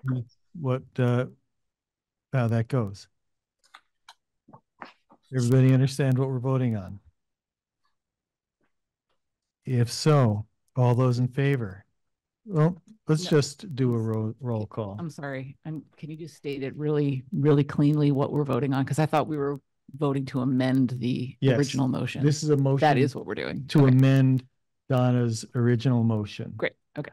Thank you. So, so, so to put that, so Donna's motion, if this vote carries, is the base budget. The proposed budget. Yes.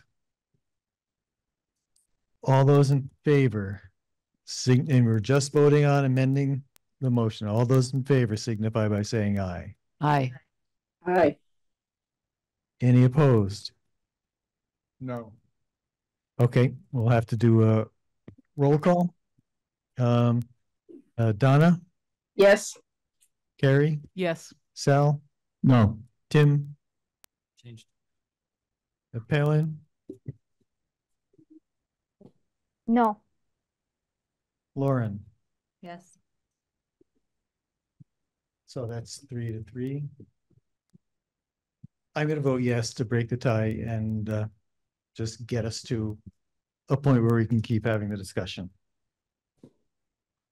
So the motion is amended and Donna's motion is now the uh budget as proposed by the uh city manager.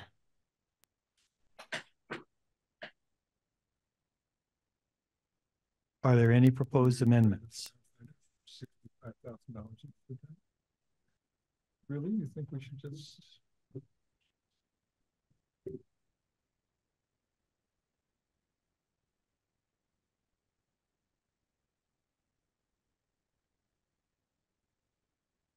Hearing no amendments, is there further discussion on, uh, on the main motion?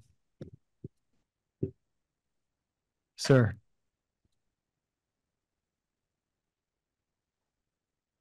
So if I may speak, my name is Ken Chrisman. I'm a firefighter. I'm also the local union president for the Firefighters Association. I've heard a lot of talk up here about our position and I, and I get the budget and the, the complexities of it. And it's easy to discuss it, but I think you guys have to kind of really truly understand what cutting a spot for us is. I know our fire chief spoke that it's a cut, it's his position, but it's truly not. Um, it's only his position if we don't fill that spot, but obviously we're gonna fill that spot with the fire chief. So I kind of prepared a statement. I'll kind of briefly go through it if you guys are good with that. At this point, we're call volume wise beyond probably where we've been in ten years. We're handling more ambulance calls, more fire calls. Obviously, this year, a big part of it was the flood. We had a lot of calls during that flood time.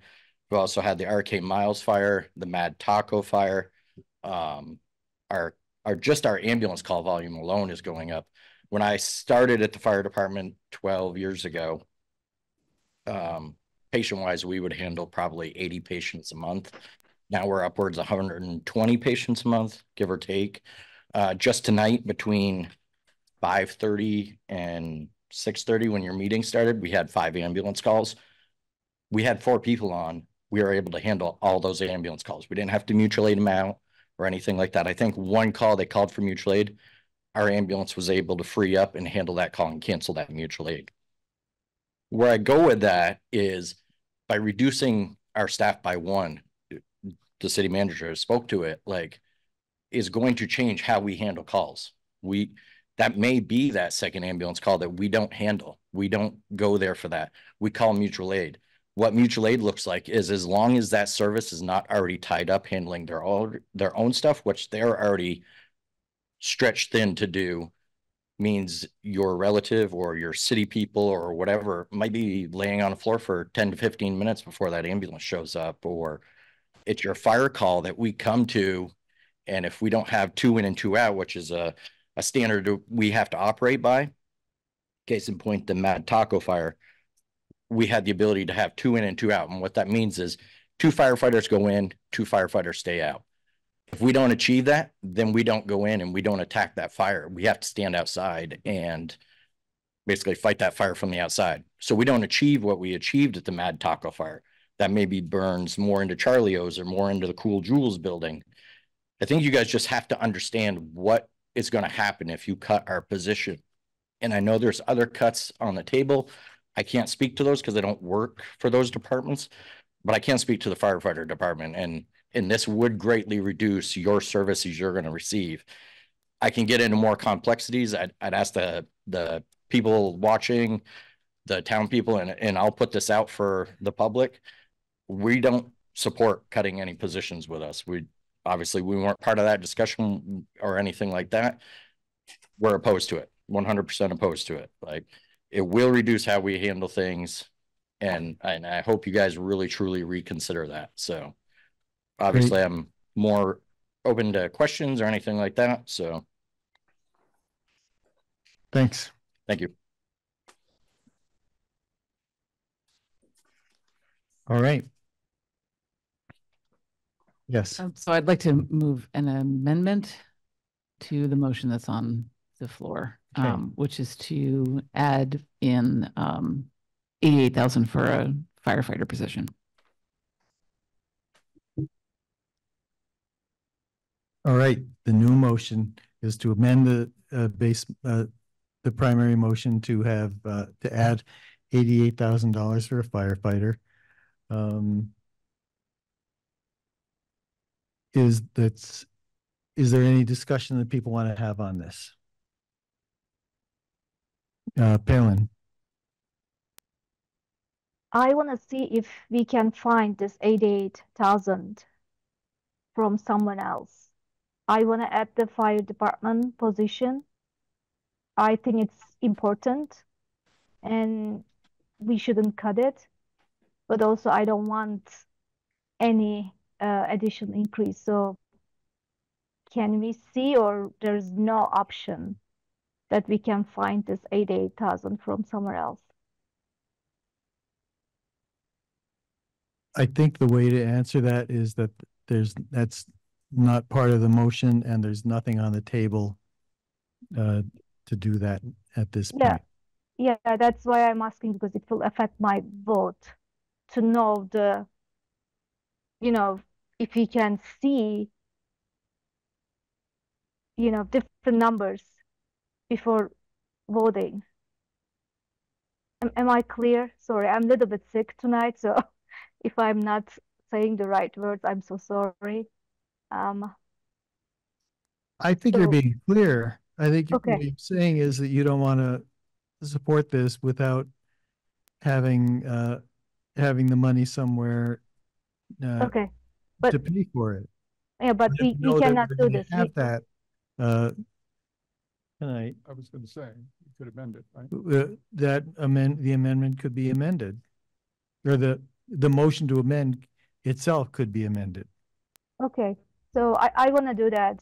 It will be my first time, so I want to amend the motion to find eighty-eight thousand dollars from somewhere else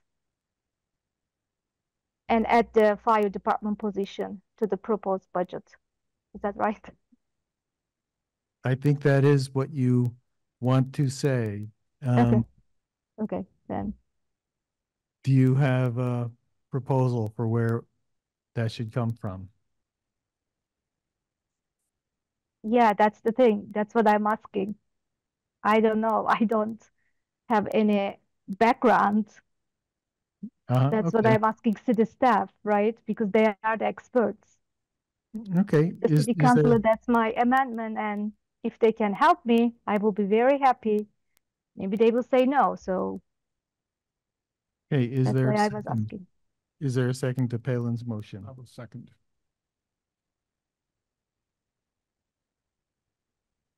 Okay, I'm trying to think about what the implications are to a motion that says cut eighty-eight thousand dollars out of the budget somewhere without specifying where it comes from. And Just for Tim. clarification, Pelin, it, it seems like since almost the beginning of this process when we got involved, it, I think we've tried to articulate that, at least I haven't, I think you have and others, that we really want to fund our primary function departments and we're not looking to cut police, fire and public works.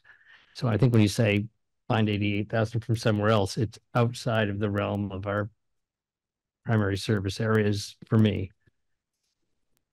Is that what you were thinking? No? Pelin, I think he was asking you a question. Yeah, yeah, I didn't understand your question well. So I was asking city staff help to show me, right, what are the options from proposed proposed budget we can find this eighty-eight thousand. Because I'm a city councilor, I'm not a city uh, manager or city staff, I don't know, right? What is the best place to find this money? If they show me like, okay, there are two options, then I can say, I can make a motion, right? Oh, first option, like with the FEMA money, right? Five hundred thousand, we are giving on number one, number two, number three. And it was very clear for me where to go, right? Reading that. Okay, yeah, I I agree with number this. So I was expecting same thing, and it was a question, right? I wasn't trying to change the uh, way, but I was asking if it is possible. Then it will affect my vote because I want to support fire department hire that position, but I don't want to support the increase uh, from 3.7. Cary. Yeah, I, I appreciate that perspective um, and those questions. And I also appreciate, um, you know, looking at this complicated budget and trying to make decisions about how to spend the money. It's difficult when we're not the ones who are doing it every day. And um, so, but I, I, I, I think the staff has already done that for us. That's what they did when we asked for our initial budget. And um, they gave us very, very clear information about what they were cutting, what the rationale was, what the impacts would be.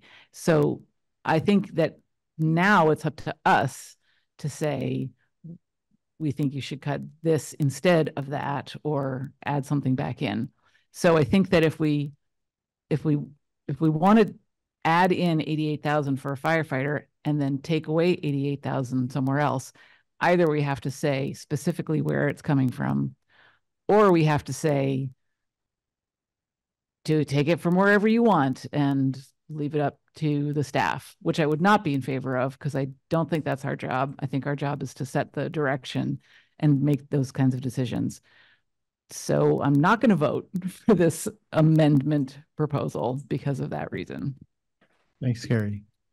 Bill, do you have any thoughts on what you would do if you're faced with, with this directive? Um, well, I mean, we'd, we'd have to come in with, you know, we'll follow whatever your motion is. I mean, we work for you. So, um, if I, would, it doesn't uh, explicitly say that in the, the motion, but given the conversation you've had, I think I would probably interpret that to be along the lines of what Councilmember Heney said, which is, you know, really not from police, fire and public works. I, I might add, you know, some caveat that if we could find overtime savings in those areas as part of the eighty-eight, we, we might look at that. But, um, I mean, we, I got a room full of people that'll be sitting right in this room tomorrow morning, um, talking about it. So. Okay, uh, Pelin. Yeah, uh, the answer could be always, no, we cannot find any. But I don't feel comfortable when we are told we don't have any options. And that's the only proposed budget you will get. So If it were the case, maybe we should have started this discussion before we just started. Because it takes it takes time, right, to decide. And again, the answer could be no. No, we cannot find any any other place. That's it. So uh, I, here's, here's where the tension is right now. Okay. We can find eighty-eight thousand dollars to cut. Right? I mean, we can find two hundred thousand dollars to cut. The question is, is the impact of what the results of that, what you want? And I think that's so, so we can, we can find money, but without, you know, again, I think if you, and I get it, we want to help and, but, you know, as I think Cary said, you know, if you, if you just give us, here it is, then you get our priorities. If, if you, which may or may not, you know, we try to match what you tell us. So it's not like we, we're an independent agency and not listening to you. But, or you provide some clarity and say, we think, I mean, I don't know, I don't, I wouldn't suggest that you find a specific position or whatever, but you say, we think it could come, we'd like to see it from these areas, whatever. I mean, at least we know where to look. And if you can't do that, I get that, but, um, but you know, I mean, we could, you know, this is, we could close the parks, right? I mean, I'm not saying we would, but you know, I mean, there are things you can do that nobody wants to do, but you can find the money. So, and, um, so. So. How bad does the tennis court need resurfacing? Thirty thousand dollars. Plus, we managed to fifty-eight thousand dollars in cuts of overtime and we have our firefighter. Marty, you're here.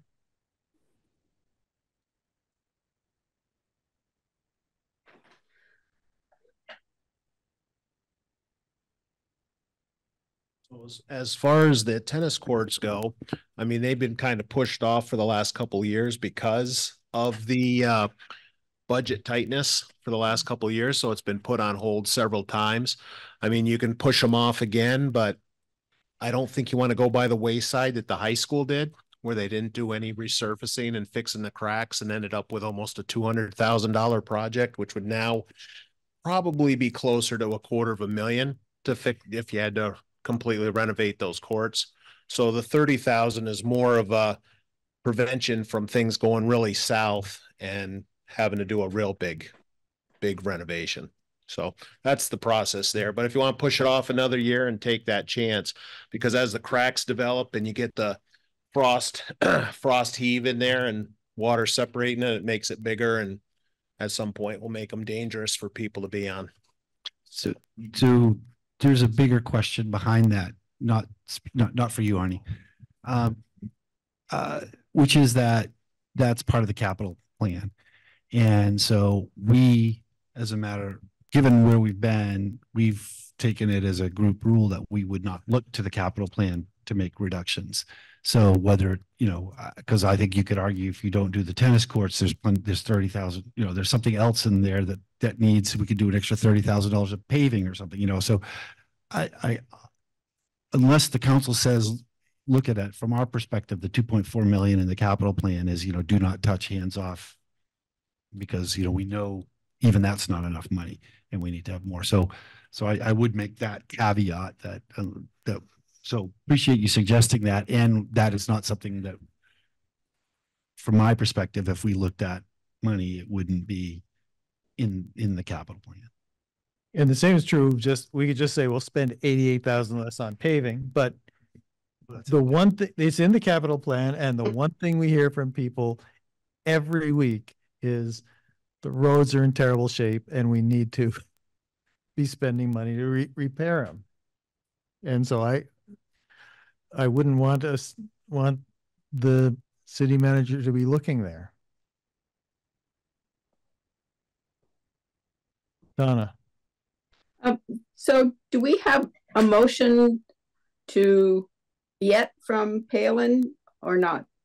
we, we do have a motion from Pelin and, Okay, and it's Can we- seconded.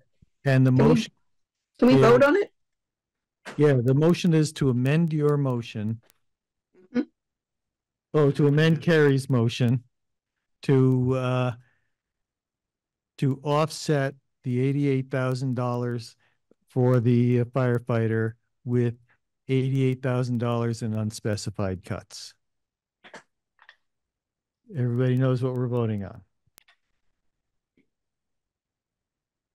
All those in favor signify by saying aye. All those opposed? Nay. Okay, we have to have a roll call. Um, Donna, Nay. Cary, No. Sal, Yes. Tim, Yes. Pelin, Yes, Lauren. So once again, three to three. And uh, the motion uh, to amend uh, Cary's motion does not carry.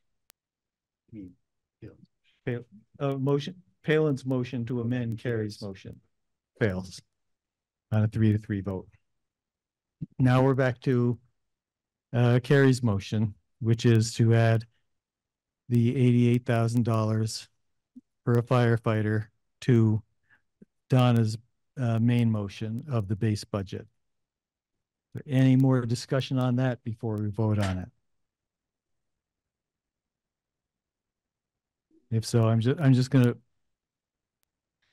go ahead, Sal. Well, I'm just wondering, was it the unspecified nature of the cuts?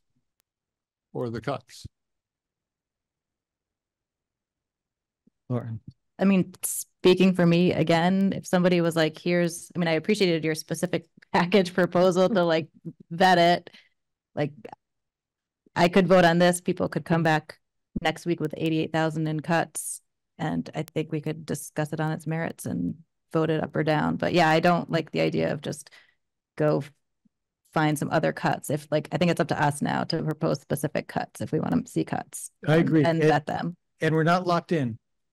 What, whatever we uh vote on tonight is what goes before our public hearing next week, but it's still subject to change. So we could pass uh Cary's motion and someone could say, well, I found the eighty-eight thousand dollars and here it is, and let's vote on that. Uh, Pelin. yeah, uh, I just want to clarify that I asked about options. I didn't say that go and find this money from anywhere you could. I just ask, is there any places, sorry, are there any places we can find this 88,000? So I just want to clarify that first. Second, if, you know, we don't have any options and I want to support the core um, uh, services of the city, I wanna approve this eighty-eight thousand like fire department position since we just learned that there's no other place to find that money. So, thank you. Okay, thanks, Pelin. I don't think we learned that there's no other place to cut the money, but, but we don't have it, we don't have it in front of us tonight. And we could vote on this and someone could come in next week and sit down with Bill or, and Sarah and say, what about this? What about that? And someone could come in with, uh, including you, could come in with a motion next week saying, here's the eighty-eight thousand dollars that's a pay for, for the uh, firefighter, but that's not where we are now. Okay, yeah, thank you for the clarification. Thanks. You're Welcome. Is, are, let's vote on uh, Cary's motion. Everyone ready for that? So, excuse me, so do we, do we need a motion to ask uh, the administration to help us find eighty-eight thousand in cuts? No. We can just, Yes. we do. I mean. well, That's what least- we're- At least a clear, I mean. I'd want to know that the whole council, you know, I mean. Mhm. I mean, you can ask us to do whatever you like. Clarity is very important right now, this time of year. And so motions are always better than not motions because then it's clear that the council as- as a group voted and gave direction. Um, and that's not to say we wouldn't be interested, but, and again, the more clarity of where to look, the better.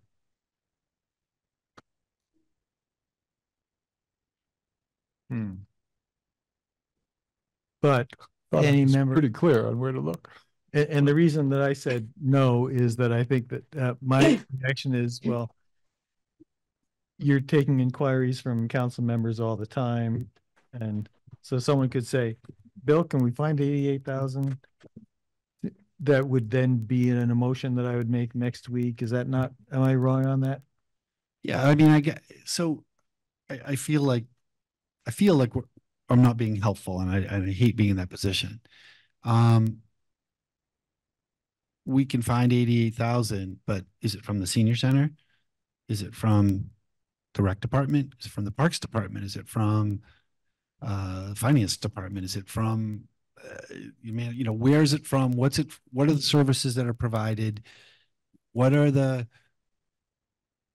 you know, assuming that police, fire and public works, yes, maybe we can manage some overtime and we got to talk about that. But we, again, we cut a hundred thousand dollars out of the initial overtime proposal before it came to you. So we're already scrambling to try to make people make it work.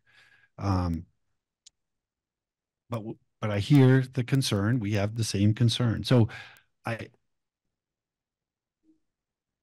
that's all, you know, I mean, we could come up with eighty-eight thousand, a million, you know, eighty-eight thousand different ways. Um, but you know, and then whatever that is, that group will be in here advocating for its restoration. So it's got to be kind of what you want. And I, I, I'm, and I, I, you know, we- we would give it a shot, but I don't know if it would be what you want. That's, that's- I, and I'm not, I hope I'm being clear. Yeah, I don't think you're trying to be difficult. I think you're trying to be as helpful as possible.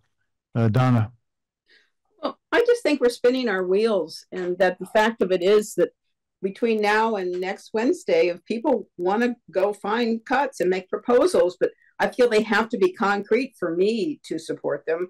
I don't want to just take a whack out and then say, staff, do it. We already gave staff direction. They've given us immense information. And lots of counselors have asked for additional information, which has been very helpful. I feel we just have to swallow and make the decision and vote one way or the other. yeah, I think, I think we should vote on, uh, Cary's motion. I'll restate it. Cary's motion is to add eighty-eight thousand dollars in to add a firefighter to the budget. And I'm going to just call the roll because I know, I think it's likely we will need to. Uh, uh, Donna, No, wait. Okay, Donna, no. Uh, Cary, Yes. Sal, No, Tim, No. Pelin, Yes. and Lauren. Yes. This is again three to three. Um, and I vote yes. It's a record for tiebreakers. It could be, Recently, anyway. yeah. Okay, now the uh proposal in front of us is the uh base increase plus plus eighty-eight thousand dollars, which gives us a tax increase of four point five six percent. Is there any other proposal of amendment that anyone wants to make?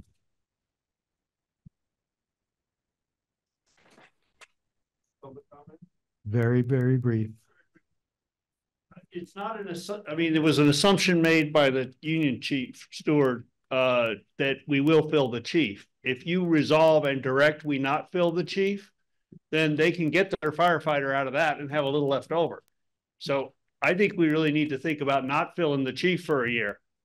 And as Tim suggested, restructure the way we manage, promote a lieutenant, whatever. But that's, that's a simple way to get the eighty-eight thousand. Okay, thanks. I, I, I don't think, from my perspective, leaving one of our major public safety bodies without a chief for a year is not a good, uh, good way to go. Um,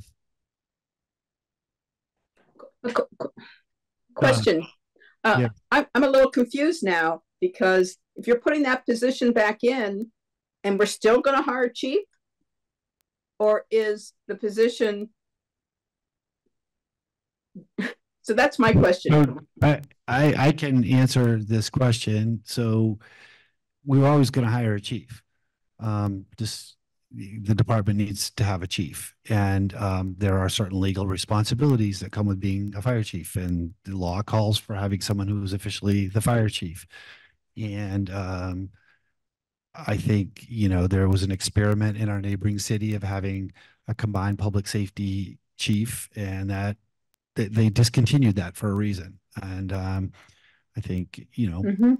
um, so uh, so the position would have been one less firefighter person. This would be we basically bringing the department back to 17 people, which is where it currently is. The, the budget brought it to 16. Yes, thank you.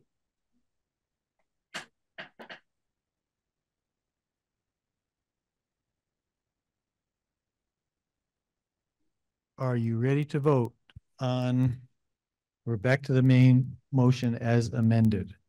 Are, are we ready to vote on that? What is the main motion again? Uh, It's, uh, it's the base budget plus the eighty-eight thousand dollars for a firefighter. And I will call the roll. Uh, Donna, Yes. Jalen, Yes. I'm, s- yeah, I'm sorry, uh, Cary, Yes. Sal, No. Tim, No. Lauren. Yes. Whoa. So that's four. I, I didn't have to vote on that one. All right.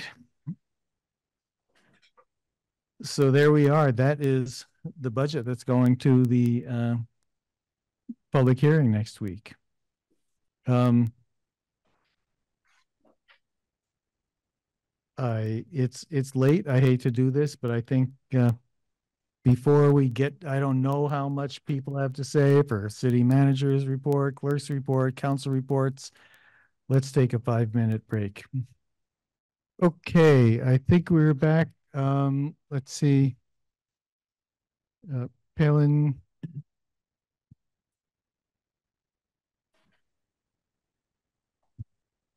Not seeing Pelin yet. She's not coming back. Okay, yeah. Okay, well, we are back. Um, we we don't have anything under other business, I don't think. Uh, city council reports. Start on uh, Lauren's end. Uh, Tim?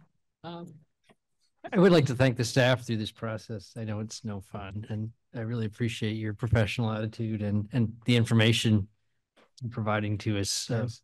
Cause I know I've asked for a lot this week and others have, and it's appreciated.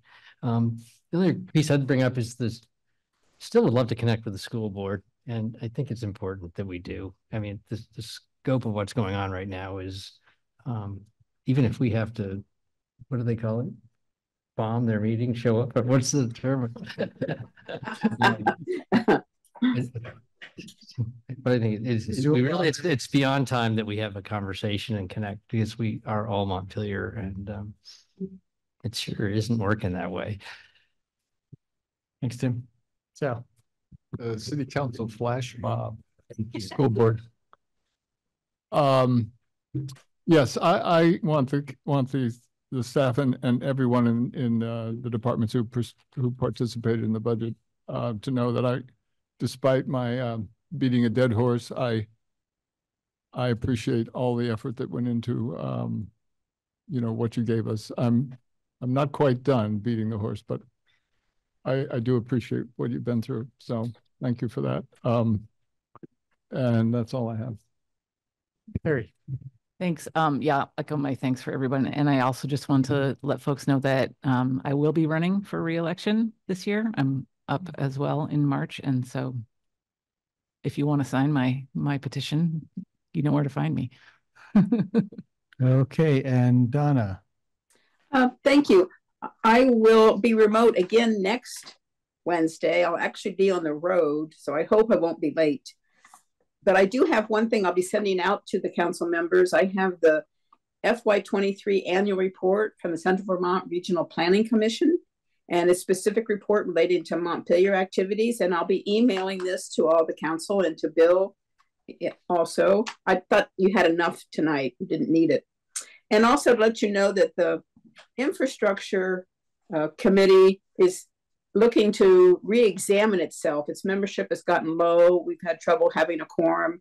And so we'll be working on ourselves and ultimately advertising. So just heads up. Thank you. And thank everybody for all their hard work and definitely the staff. Thank, thanks, Donna. Um, Yeah. Can I add one thing? Yes. My, my report. Please do. I'm sorry, I, for- I forgot to say something. Um, that when, I just wanted to clarify that when we did this vote on, uh, the budget just now, that, um, we, I want to be clear that I voted, um, but it, it- that included the city clerk's budget, and I need to recuse myself from voting on the city clerk's budget. So I think that we're fine tonight because we didn't actually vote on the budget. We just voted on, you know, a draft that we're going to be presenting the public. But I do want to make it really clear that I will not be voting on the city clerk's portion of the budget. That when it comes time to vote on the actual budget, we will need to separate it out into two pieces. And also, if we haven't had any discussions about the city clerk's budget yet, but if we do in the future, I will recuse myself from any of those discussions. Thank you. We just, it was just two days ago that we talked about that, wasn't it? Um, sorry. Oh, I'm sorry.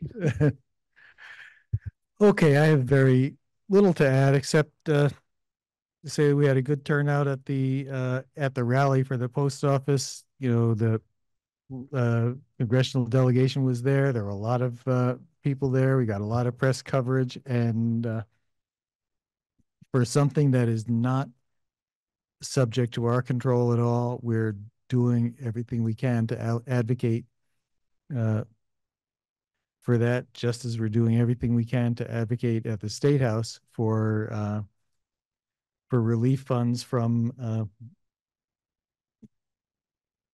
for the for the flood. And you know, I don't know what's gonna come of it, but uh your legislative committee and the team are working hard to try to make that happen. Um, city clerk. Well, you all know what I'm gonna say. Um, tomorrow night, Thursday night, got to get that quorum for the last, what should be the last assessment hearing, um, or assessment meeting before we go into the abatements. The grand list does have to be filed with the state, um, at the latest, uh, next week, early next week. So this meeting's a big one. Um, so we had, we ju- just had a quorum last week. So it'd be nice to not have to sweat so much if we can get enough folks to come in. It should not be a terribly long meeting, but it's six thirty. It's at the senior center. Um, the only other thing I should add, and I know it's late, but I should mention just some quick election stuff to folks. You can come in, you can find your petitions if you want to run or want to get something on the ballot on the clerk's part of the web page. Um, candidates need to get their stuff into me by the oh boy, I hope I'm saying this right, by Monday, the 29th at five o'clock. Um, remember that if you're running for school board, you need 30 signatures. And if you're running for a city office, you need 25. Remember, if you're running for council, it needs to be within your district.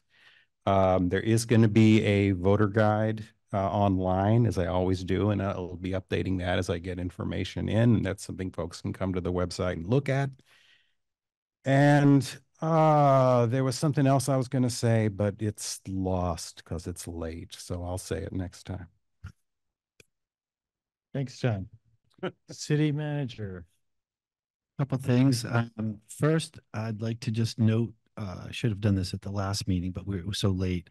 Uh, recent passing of a longtime city employee, Frank Ellis, in our water department, uh, who who really was one of the true great guys and had been suffering with cancer for a long time, including the last couple years that he was with us and uh, just wouldn't give up till till he had to. Um, and Frank Frank's just was a wonderful person. There's going to be a celebration of his life in uh, later this month. but I just wanted to note that. Um, so part of our city family has gone hopefully to a better place. Um, secondly, just we did meet, uh, I met with Senate Finance yesterday, outlined the financial impact of the flood. Uh, I think I sent, you know, ballpark of, you know, the three and a half million or so that we told them um, that was our maximum exposure. Uh, it does sound like they are working on, uh, actively working on a bill to deal with the education portion of abatements. Um, that, that, and it sounds like there's some support for that. Uh, it sounded like there was some support for um, the the housing, helping assisting the folks with housing uh, that that we talked about earlier. Uh, there seems to be interest in um, the the big omnibus bill, you know, providing uh, funds to municipalities to one-time funds to offset losses. Whether whether that will come around, we'll see. Um, and uh, there was another meeting also yesterday morning that I think a couple of our council members and some of our staff attended as well. The sort of big picture. And then today I went to uh, Senate Gov Ops to talk about just basic state response to the flood and city's response and things we could learn and the, the types of things that maybe the state could fund in the future, including maybe having a reserve fund to move quickly with emergencies and provide businesses and people with immediate aid. Um, and that was, I think, well received. And at the same time, our planning director was in a different committee talking specifically about the budget adjustment for helping people with homes. So, so it's fast and furious. We're there uh, working on those things.